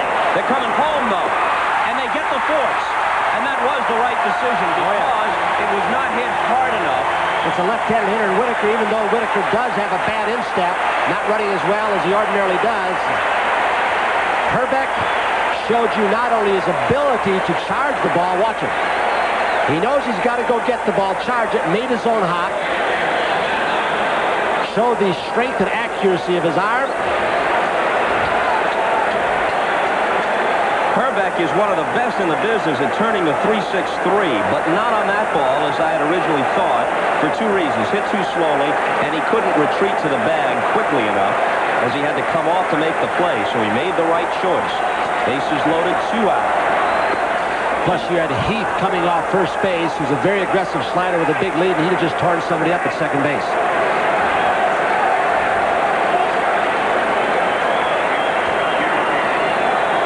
One and oh to Madlock, who hasn't had even a scent of Viola. Struck out twice and popped up. And this one is flagged down by Viola. He throws him out. The Tigers got the minimum out of four singles. Just one run.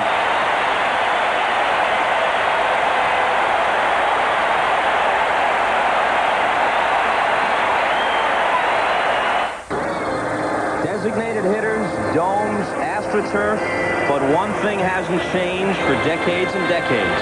Pulses still race in October when the money is on the table.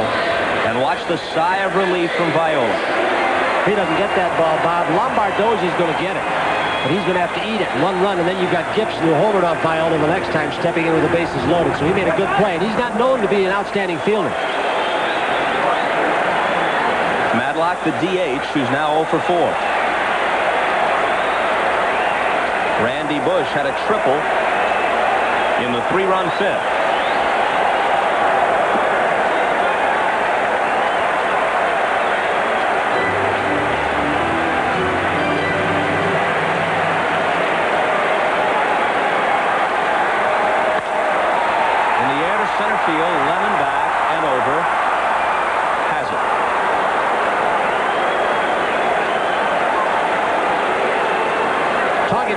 To Gene Mock's nephew, about that dome, and he said, you know, the last two years, I've only seen a few balls lost.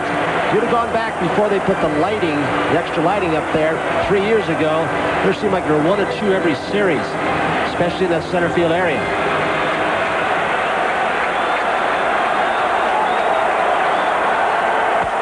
Brunansky wallops one, but Gibson is there.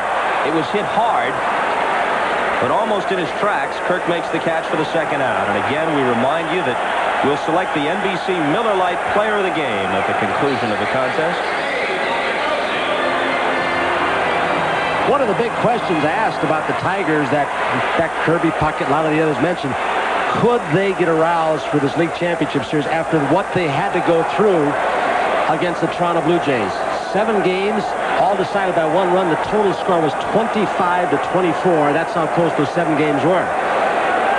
Could they be flat? Viola that good.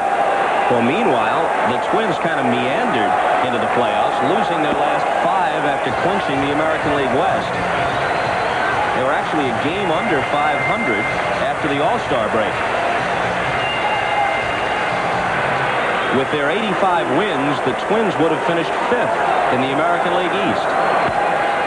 Bouncer toward the hole. Trammell from what would be the outfield grass doesn't get it.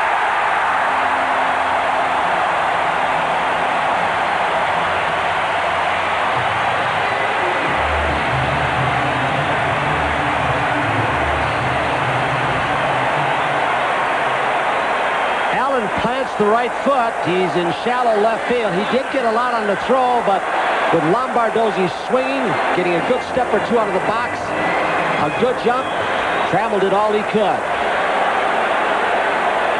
This team not gifted with a lot of blazers, but the meat of the diamond for this Minnesota team has been very important. Short second, they contribute a lot of little ways. They do not yet have the exposure of Whitaker and Trammell. May never be that good, but they're not bad. Two Ks next to Laudner's name in the scorebook, and strike one to him here. You know, you can see why the Tigers are such an overwhelming favorite. They were 13 games better than the Twins. The Twins would have been behind the Tigers, the Blue Jays, the Brewers, and the Yankees if you put them in the East. Back to Alexander.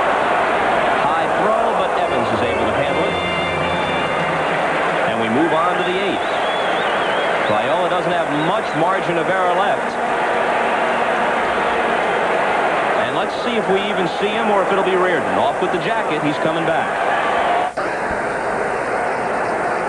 Well, that man down on the lower portion of Tom Kelly's scorecard, and a little unusual, he's listed along with the left-handed pitchers, but it's Jeff Reardon, and it must be very comforting for Frank Viola, as it has been for all of these starters all year, that if we get into the eighth, we can just let it all hang out, throw as hard as we can go up to this, because Jeff is sitting there behind us. Complete games? Not many. A lot of it because that man on the left, Jeff Reardon. Last year, the Twins, who had a woeful pitching staff then, actually led the American League in complete games. Not because their starters were so good, but because their bullpen was so terrible.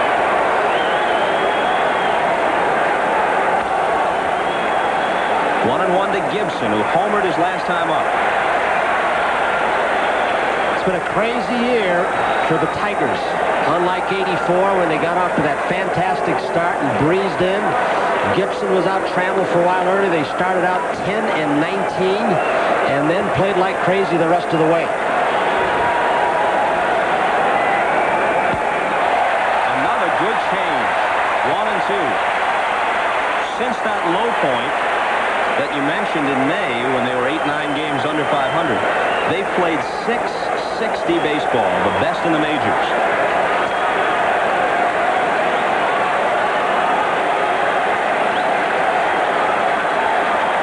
The one-two in the dirt. Talk about oddities. How about the Minnesota Twins? They actually, during the 162-game schedule, gave up more runs than the opposition, and they're here in the league championship series. They scored less than their pitchers gave up. Full count now.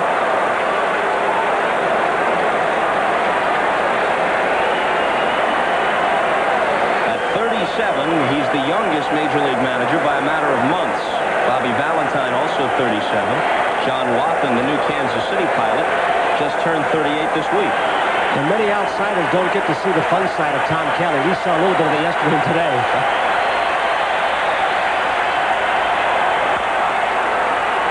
And we'll do it again. Could Tom Kelly and Dick Such, who right when this inning started, had Reardon warming up, could they just be letting Viola get the leadoff hitter Gibson, and then you've got a string of Trammell, Herndon, Lemon, three right-handed hitters? Possibility, depending upon how Viola throws to him and how he's feeling at bats.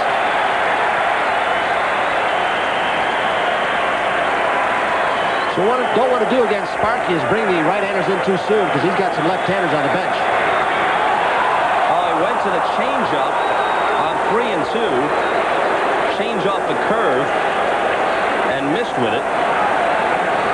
So Gibson, who can run, he's stolen 26, is aboard with a tying run. And Reardon wondering when the phone's going to ring.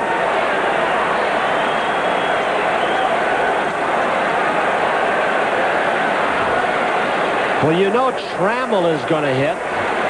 It's a hanging curveball, and not too many years ago with the inflated protectors, that ball's a strike. It's one of those where it's unfair to the pitcher.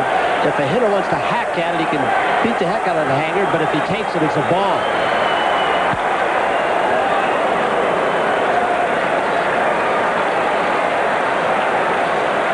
Tom Kelly is not going to be too quick to get Viola out. Not with the lead he's got. Doesn't seem like much it's slim, but what you've got is Matt Nokes bat sitting on the bench, and he would come in probably for Herndon, or maybe Johnny Grubb, or Bergman, or Sheridan, but more likely Nokes if there's a man out. The 0-1 pitch to Trammell. Liner over Lombardozzi's leap, and on the turf, it gets deep into the gap. It'll be a double for Trammell. And on to third is Gibson. Second and third, nobody out. That's a single at Tiger Stadium. Now he's going to have to worry over what he's going to do. And you can see it's the first signs of uneasiness that Tom Kelly is showing. He is saying, what matchup do I want? Viola against Herndon or the possibility of Reardon against Matt Nokes. Possibility. Because then you've got two catchers you lose Nokes early in case you want to pitch it for Heath later, so that changes things with this 24-man roster. He wants Reardon. Now, Sparky pulls Herndon back and sends up Nokes. they have a base open. The go-ahead run is at second now. So they can walk Nokes if he gets up there and set up the double play or the force at the plate. He has Bergman, who is a veteran hitter, and here comes Dave. He'll save Nokes for another time.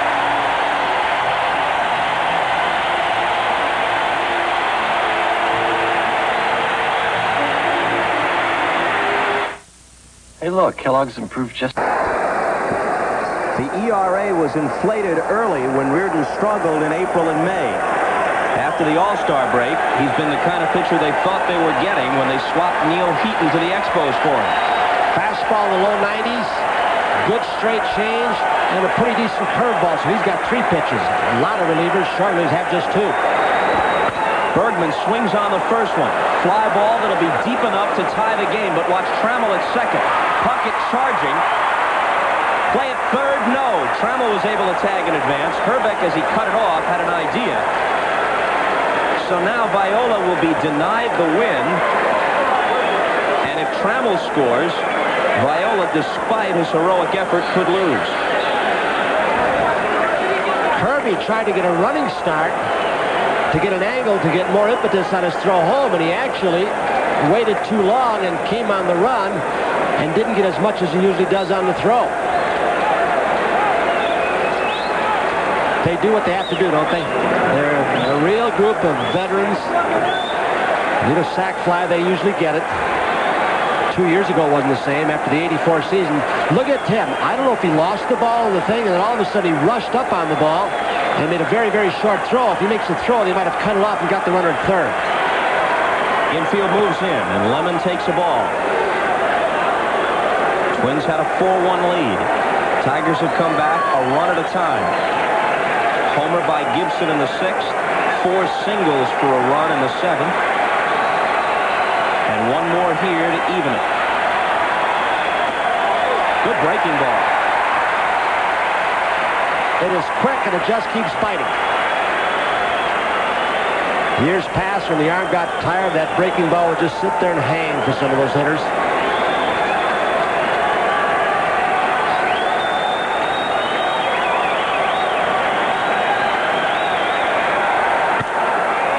In the field, and the Tigers are going to have the lead.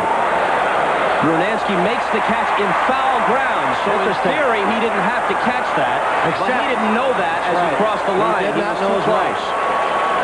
The ball just kept drifting.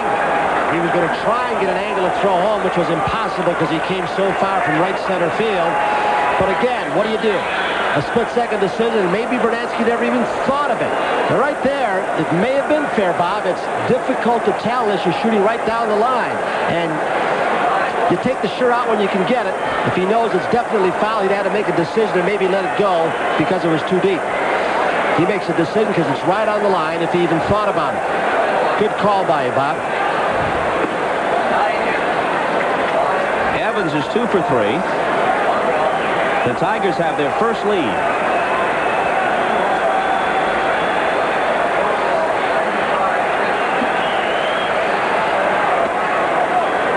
And what you go back to on that is Kirby Puckett, who was so in the outfield. When he came home from so deeply, if he had gone to third or hit the cutoff man, perhaps Trammell might not have gotten the third. But those are all the might haves that are magnified in these kinds of series.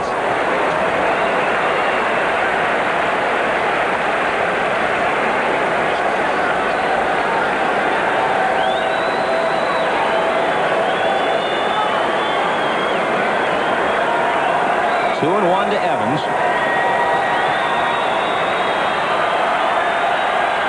The base is empty now with two out.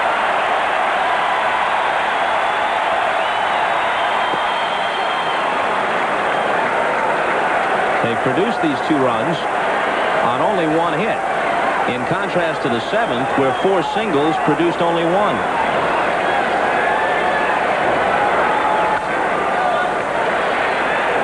Gibson walked, Trammell doubled into the gap in right center, and all of a sudden Alexander's back in business with a lead, and then sacrifice flies by Bergman and Lemon got the job done.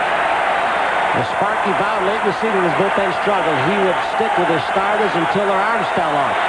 He did that pretty much in the series in Detroit against Toronto. Yeah, it's going to be interesting in all the post-game press conference. If we still got some time to go for Minnesota to bat, you can bet that Tom Kelly's going to be asked the question, why would Trammell the cleanup hitter? Did you think of going to Reardon to get Trammell before the base hit off Viola? Viola appeared to be throwing the ball pretty well. And we've gotten out of a close call in the seventh. This ball's hit down the line. Brunansky racing over, and he makes the running catch again in foul ground.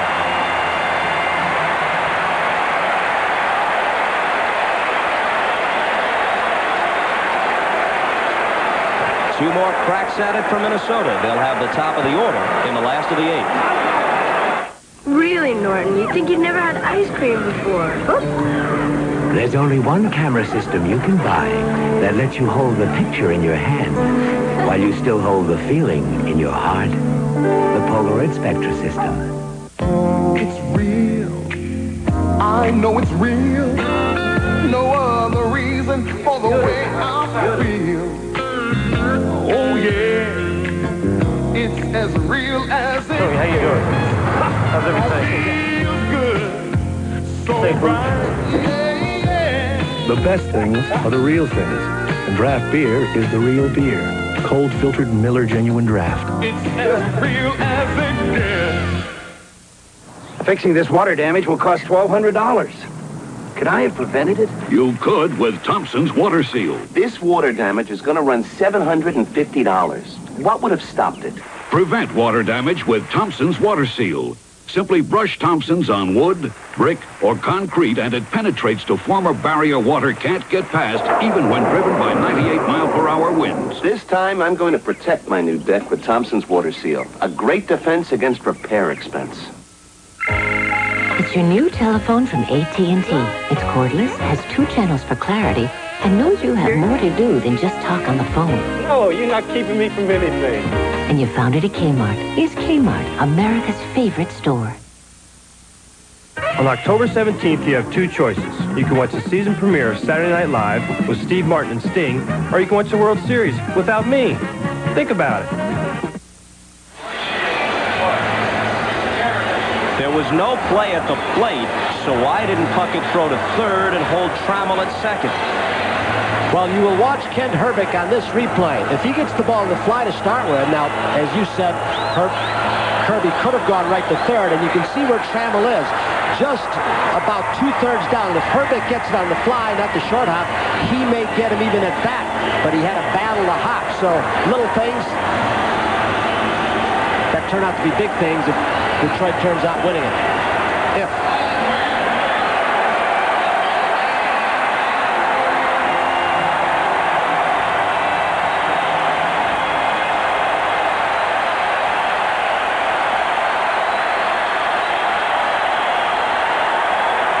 Carson In the from this shot. Sheridan, defensive player, out in right field for Sparky Anderson. Gladden to start it.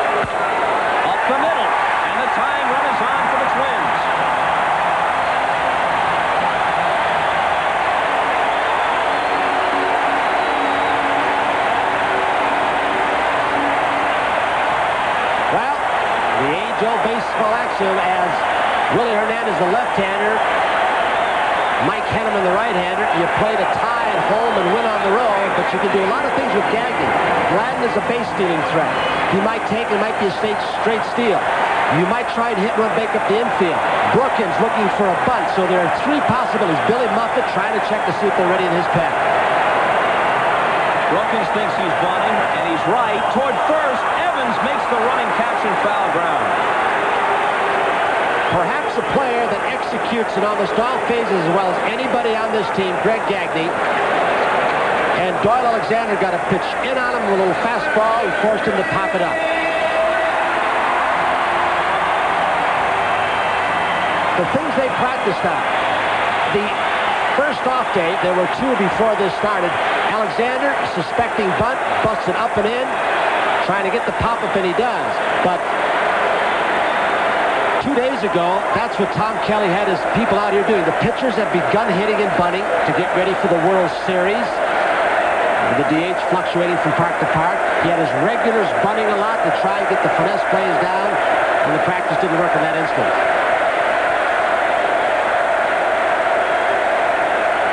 Kirby, Kirby, they chant. Anderson with Henneman and Hernandez getting ready, but sticking with Alexander for the time being.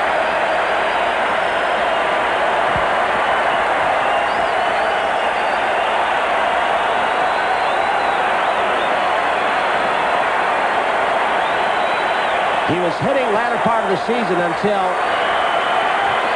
Tony Oliva said, look, you're floating back into your old pattern. Start driving the ball. And he drives this one into the gap in left center field. Lemon chasing after, can't get it. It bounces off the plexiglass. Here comes the tying run. Play at the plate. Safe.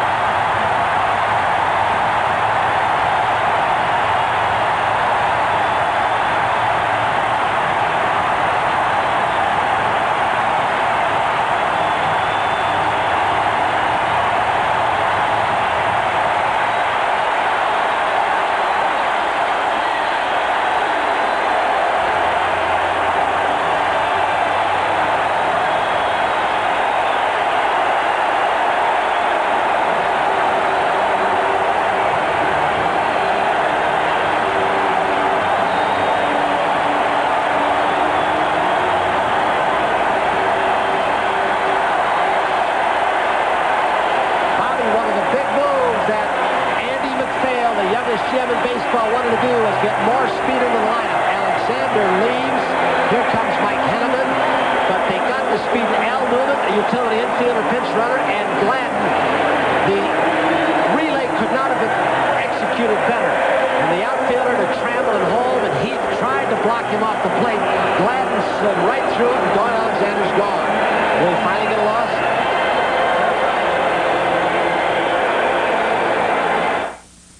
Lemon plays the carom off the glass very cleanly. Unloads to Trammell, who has a very strong arm, in perfect position, right over Evans, the cutoff man. But Gladden slides in ahead of Heath's tag. Boots Day, one of those who did advanced scouting for Sparky Anderson's Tiger, probably saw the same scouting reporter had it that we did. Puck hitting more to right field, so they moved Lemon toward right center field. The gap was in left center, and in the speed of Gladden, after a good jump, gets him in.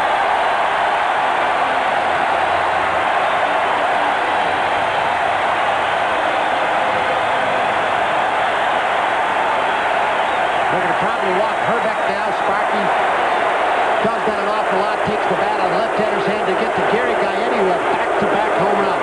Henneman, a single baller, fork ball, and a slider.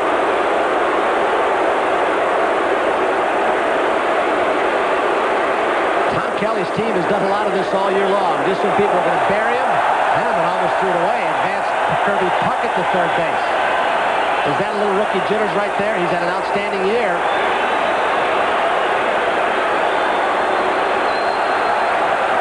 Henneman as he finishes the walk. Alexander looking on. Henneman is from St. Charles, Missouri. Played in two College World Series for Oklahoma State, where he was a teammate of the Rangers' Pete Incaviglia.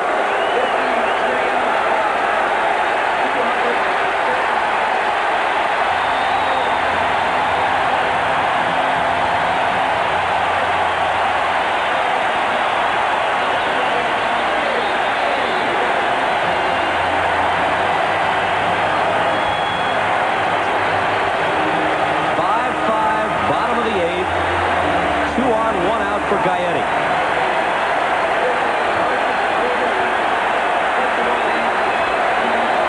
Puckett with that speed at second. Going to be looking in the event that Henneman bounces one of those fork balls in the dirt. He should get a good walking lead. He may be able to advance on it.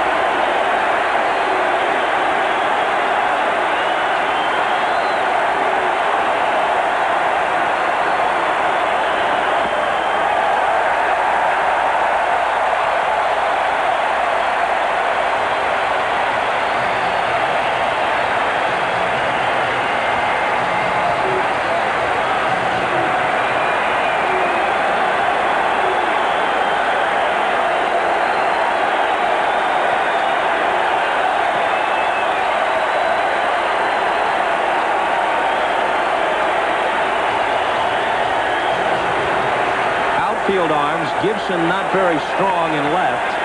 Lemon good in center. Sheridan pretty good in right.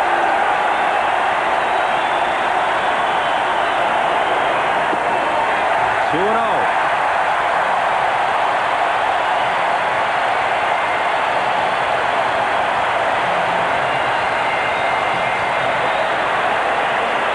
Here comes Sparky.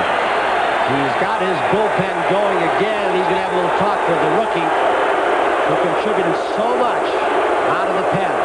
Willie Hernandez and Eric King. King been with that great arm and somewhat of a disappointment. He's been the swing man, started early, was going to be the closer, middle relief.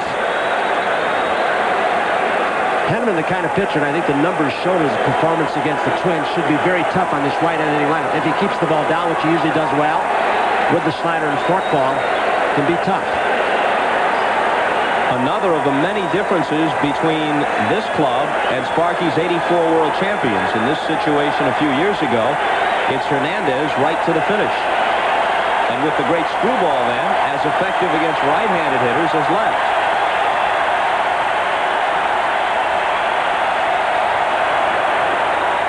Three and oh.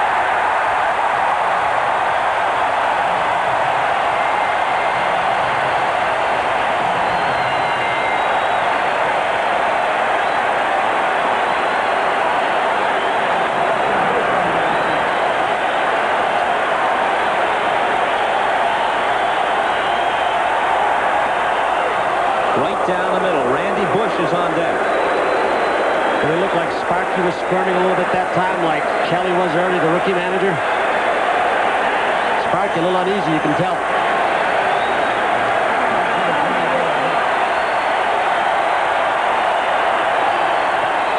He walked him. They're loaded with one out.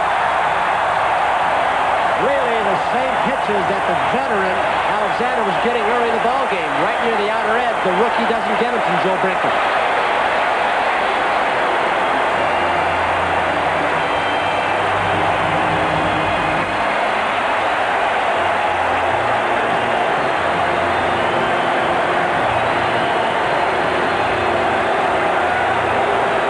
Willie Hernandez, there were thoughts that he might not be able to pitch in this league championship series. Hernandez yesterday, after batting practice was done, pitched a simulated game to Walewander and Lusader, who are along for the ride, not eligible. As you might expect, the moment Hernandez was announced, the left-handed hitting Bush was called back, and out comes Don Baylor to hit for him.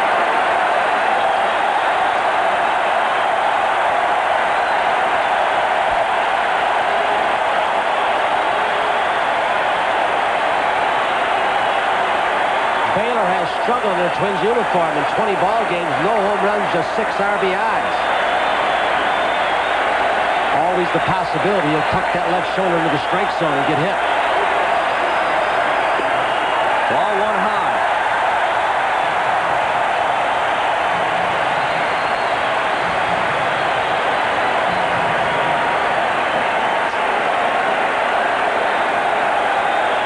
think this will be the only man Hernandez will face, and then he's gone.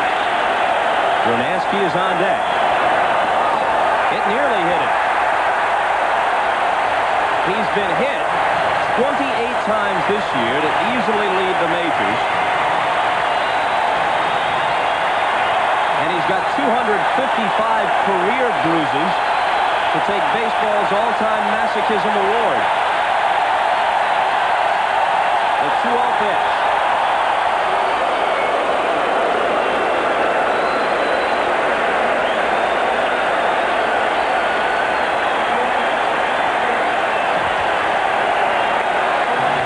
The 1979 MVP and the 84 MVP. Each passed their peak.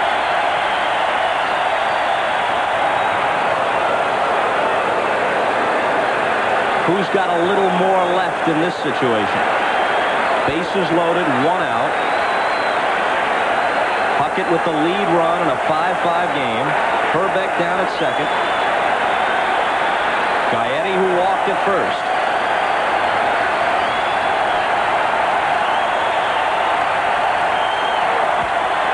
That's a hit.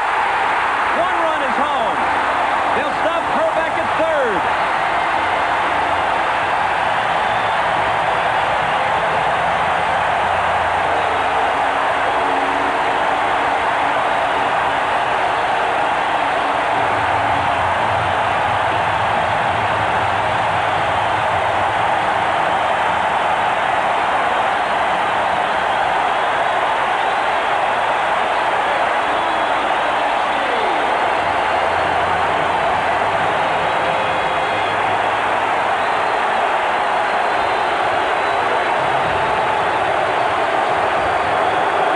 Brunansky. He threw the screwball. He stayed away from the screwball to Baylor. He stuck with the fastball and got burned, and the fastball up and in.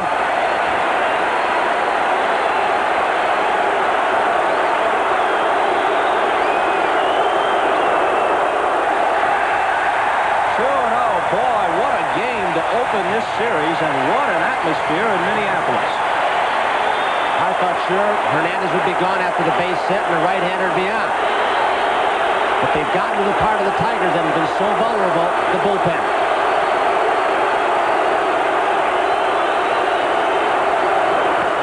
Popped him up. Let's see if it stays in.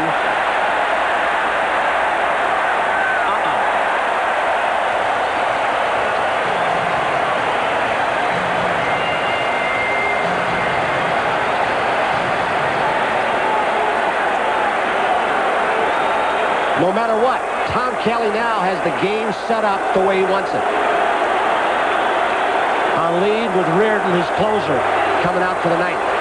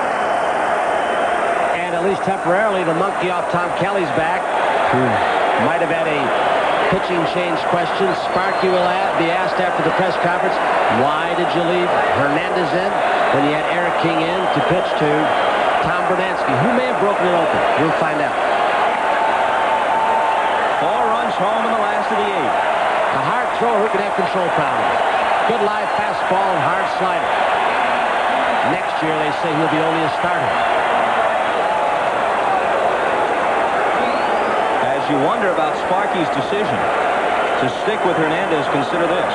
The last 15 hitters Hernandez has faced, he's retired only three of them. He's yielded seven hits and five walks in that stretch.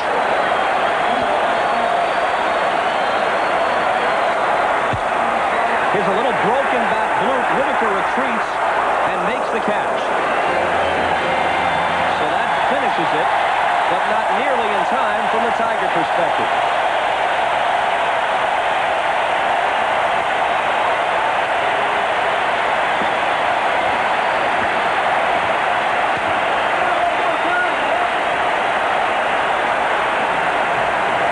Party of Major Express written consent of Major League Baseball. Grubb bats for Brookens, and on deck is Nokes to bat for Heath, and then Whitaker in the top of the ninth. Reardon's got a three-run cushion. The sign of a good relief pitcher, in fact, a great one at times. And Jeff Reardon, first pitch strike. Make them hit themselves out.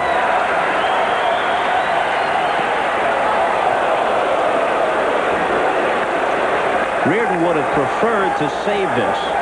Instead, Viola isn't going to be involved in the decision, and Reardon could be the winner.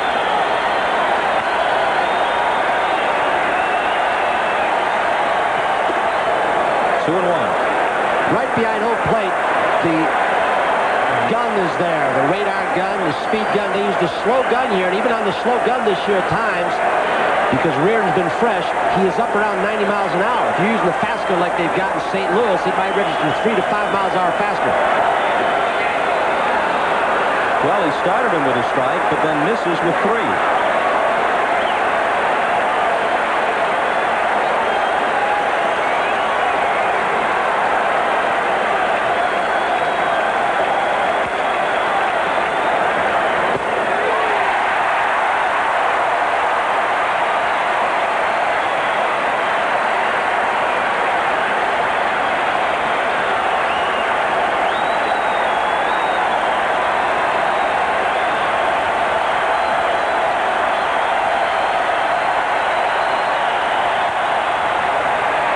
Looks like that one will be out of play, and it is.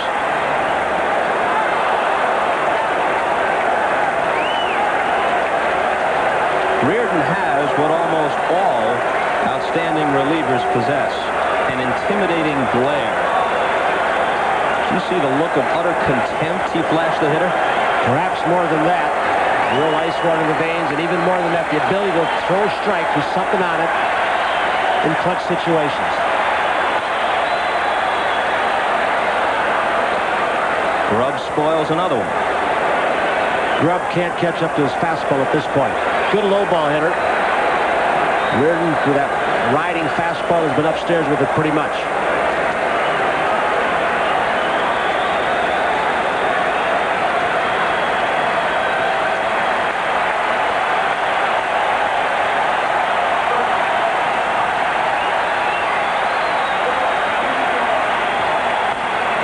That looks like a hit. Brunansky won't get to it. So Grubb battled him. And on the third 3-2 pitch, he lines a single to right.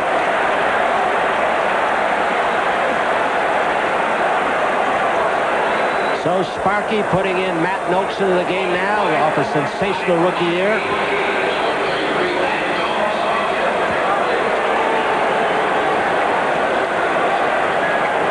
Nokes hit 32 home runs. And Sparky acknowledges that had they re-signed Parrish, there's no way Nokes would have even been on the roster. He would have been a Toledo Mudhen.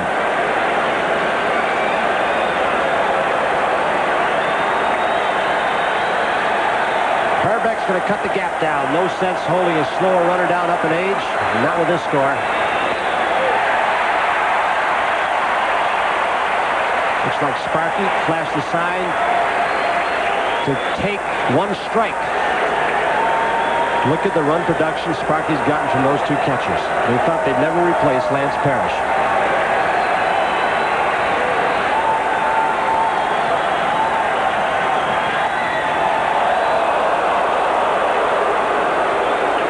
A ball and a strike with Whitaker on deck. If Nokes can reach, Lou becomes the tying run, and he has some power, 16 homers.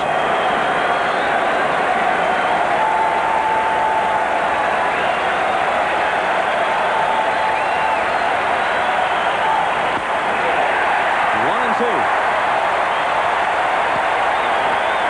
What a wicked curveball in a great spot. Nokes looking fastball. In and down near the ankles.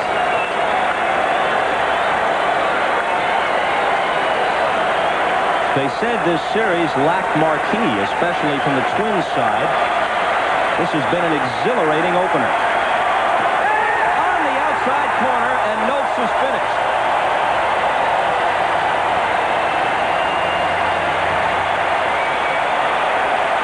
Could he have made two more perfect breaking ball pitches? One down and in that Nokes question off Joe Brinkman. Then he backdoored him, started outside, and he threw it right where Laudner wanted it. And Joe Brinkman expands the strike zone just a little bit and punches Matt Nokes out. Whitaker. Madlock next, and if they can prolong it beyond him, Sparky would love to see Gibson get another swing.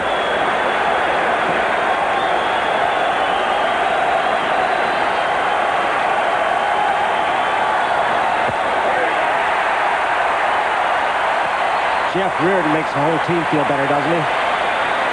The defense, the starting pitchers, the manager especially.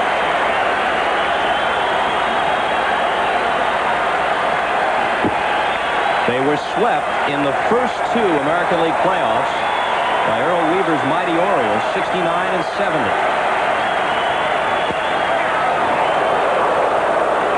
Viola told us yesterday, I began to feel good about this ball club, which had been a perennial loser, after A, they hired Kelly. He was the player's choice. Others had been mentioned, Frey, Altobelli, and then when they got Reardon. He goes to three and one.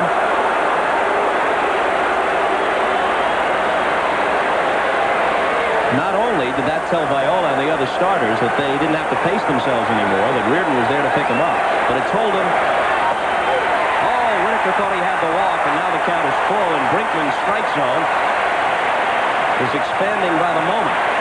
The acquisition of Reardon told the Twins that the organization was serious about trying to win.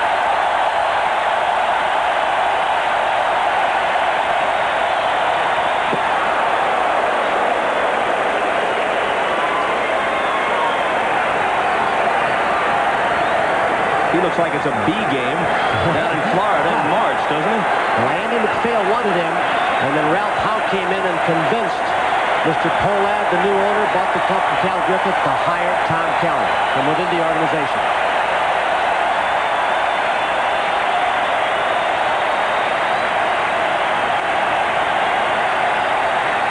One on, one out. And now the tying run's going to come to the plate in the person of Bill Madlock, who's overdue.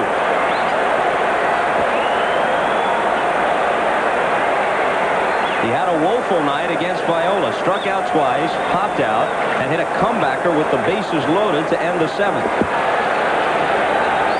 And the one thing Laudner, I believe, and Reardon are talking about, going over the scouting report on Madlock, saying what the situation is, and I'm sure somewhere in there they're saying one thing we do not want to do is hang a breaking ball to Bill Madlock. Make him hit your good fastball, going to show him a curveball, make sure it's down or out of the strike zone. They've been jamming it.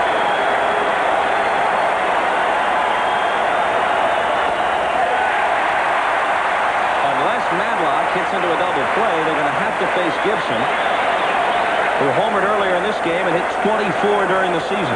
And with Madlock being the tying run, Gaetti's right on the line. He's not going to get, he's going to, that's what Tom Kelly was doing, saying, get back, guard the line.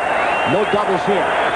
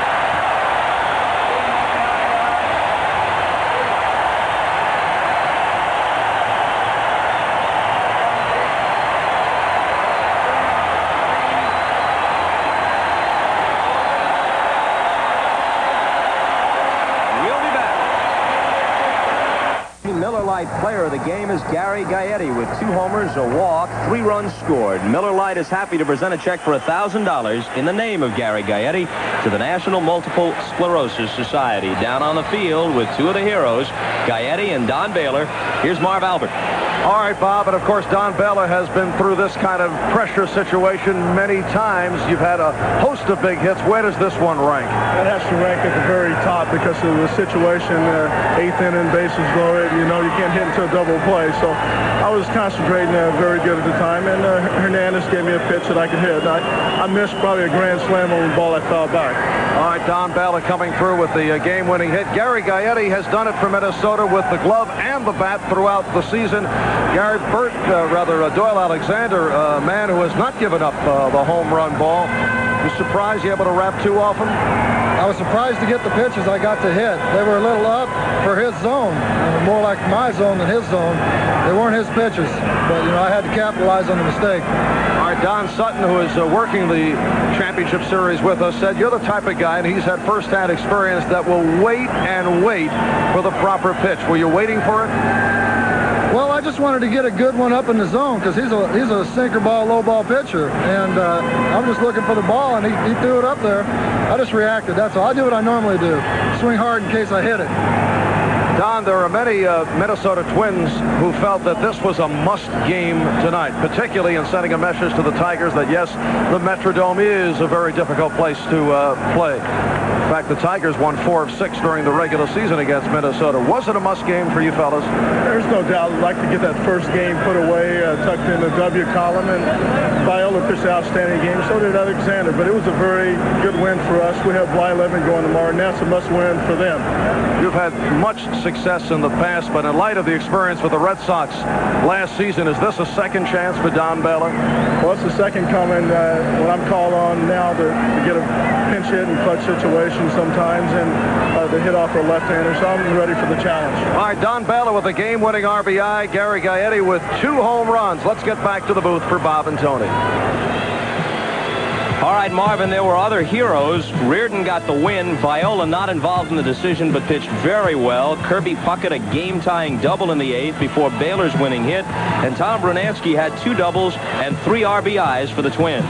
The 1987 American League Championship Series has been brought to you by Miller Genuine Draft, cold-filtered draft beer. It's as real as it gets.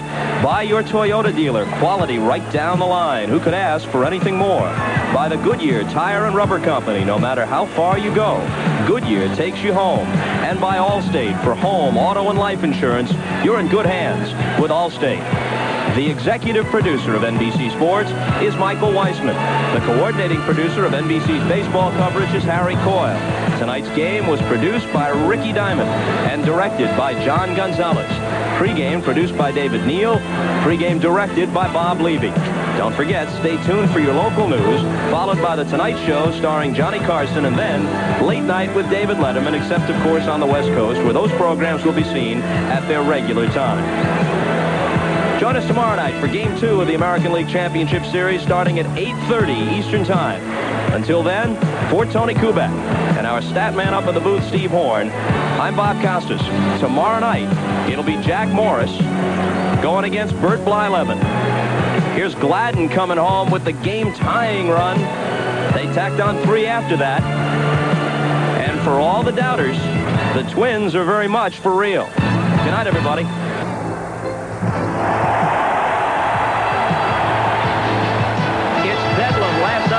It's Bedlam last night in Minneapolis, and the Metrodome magic continues. The Homer Hankies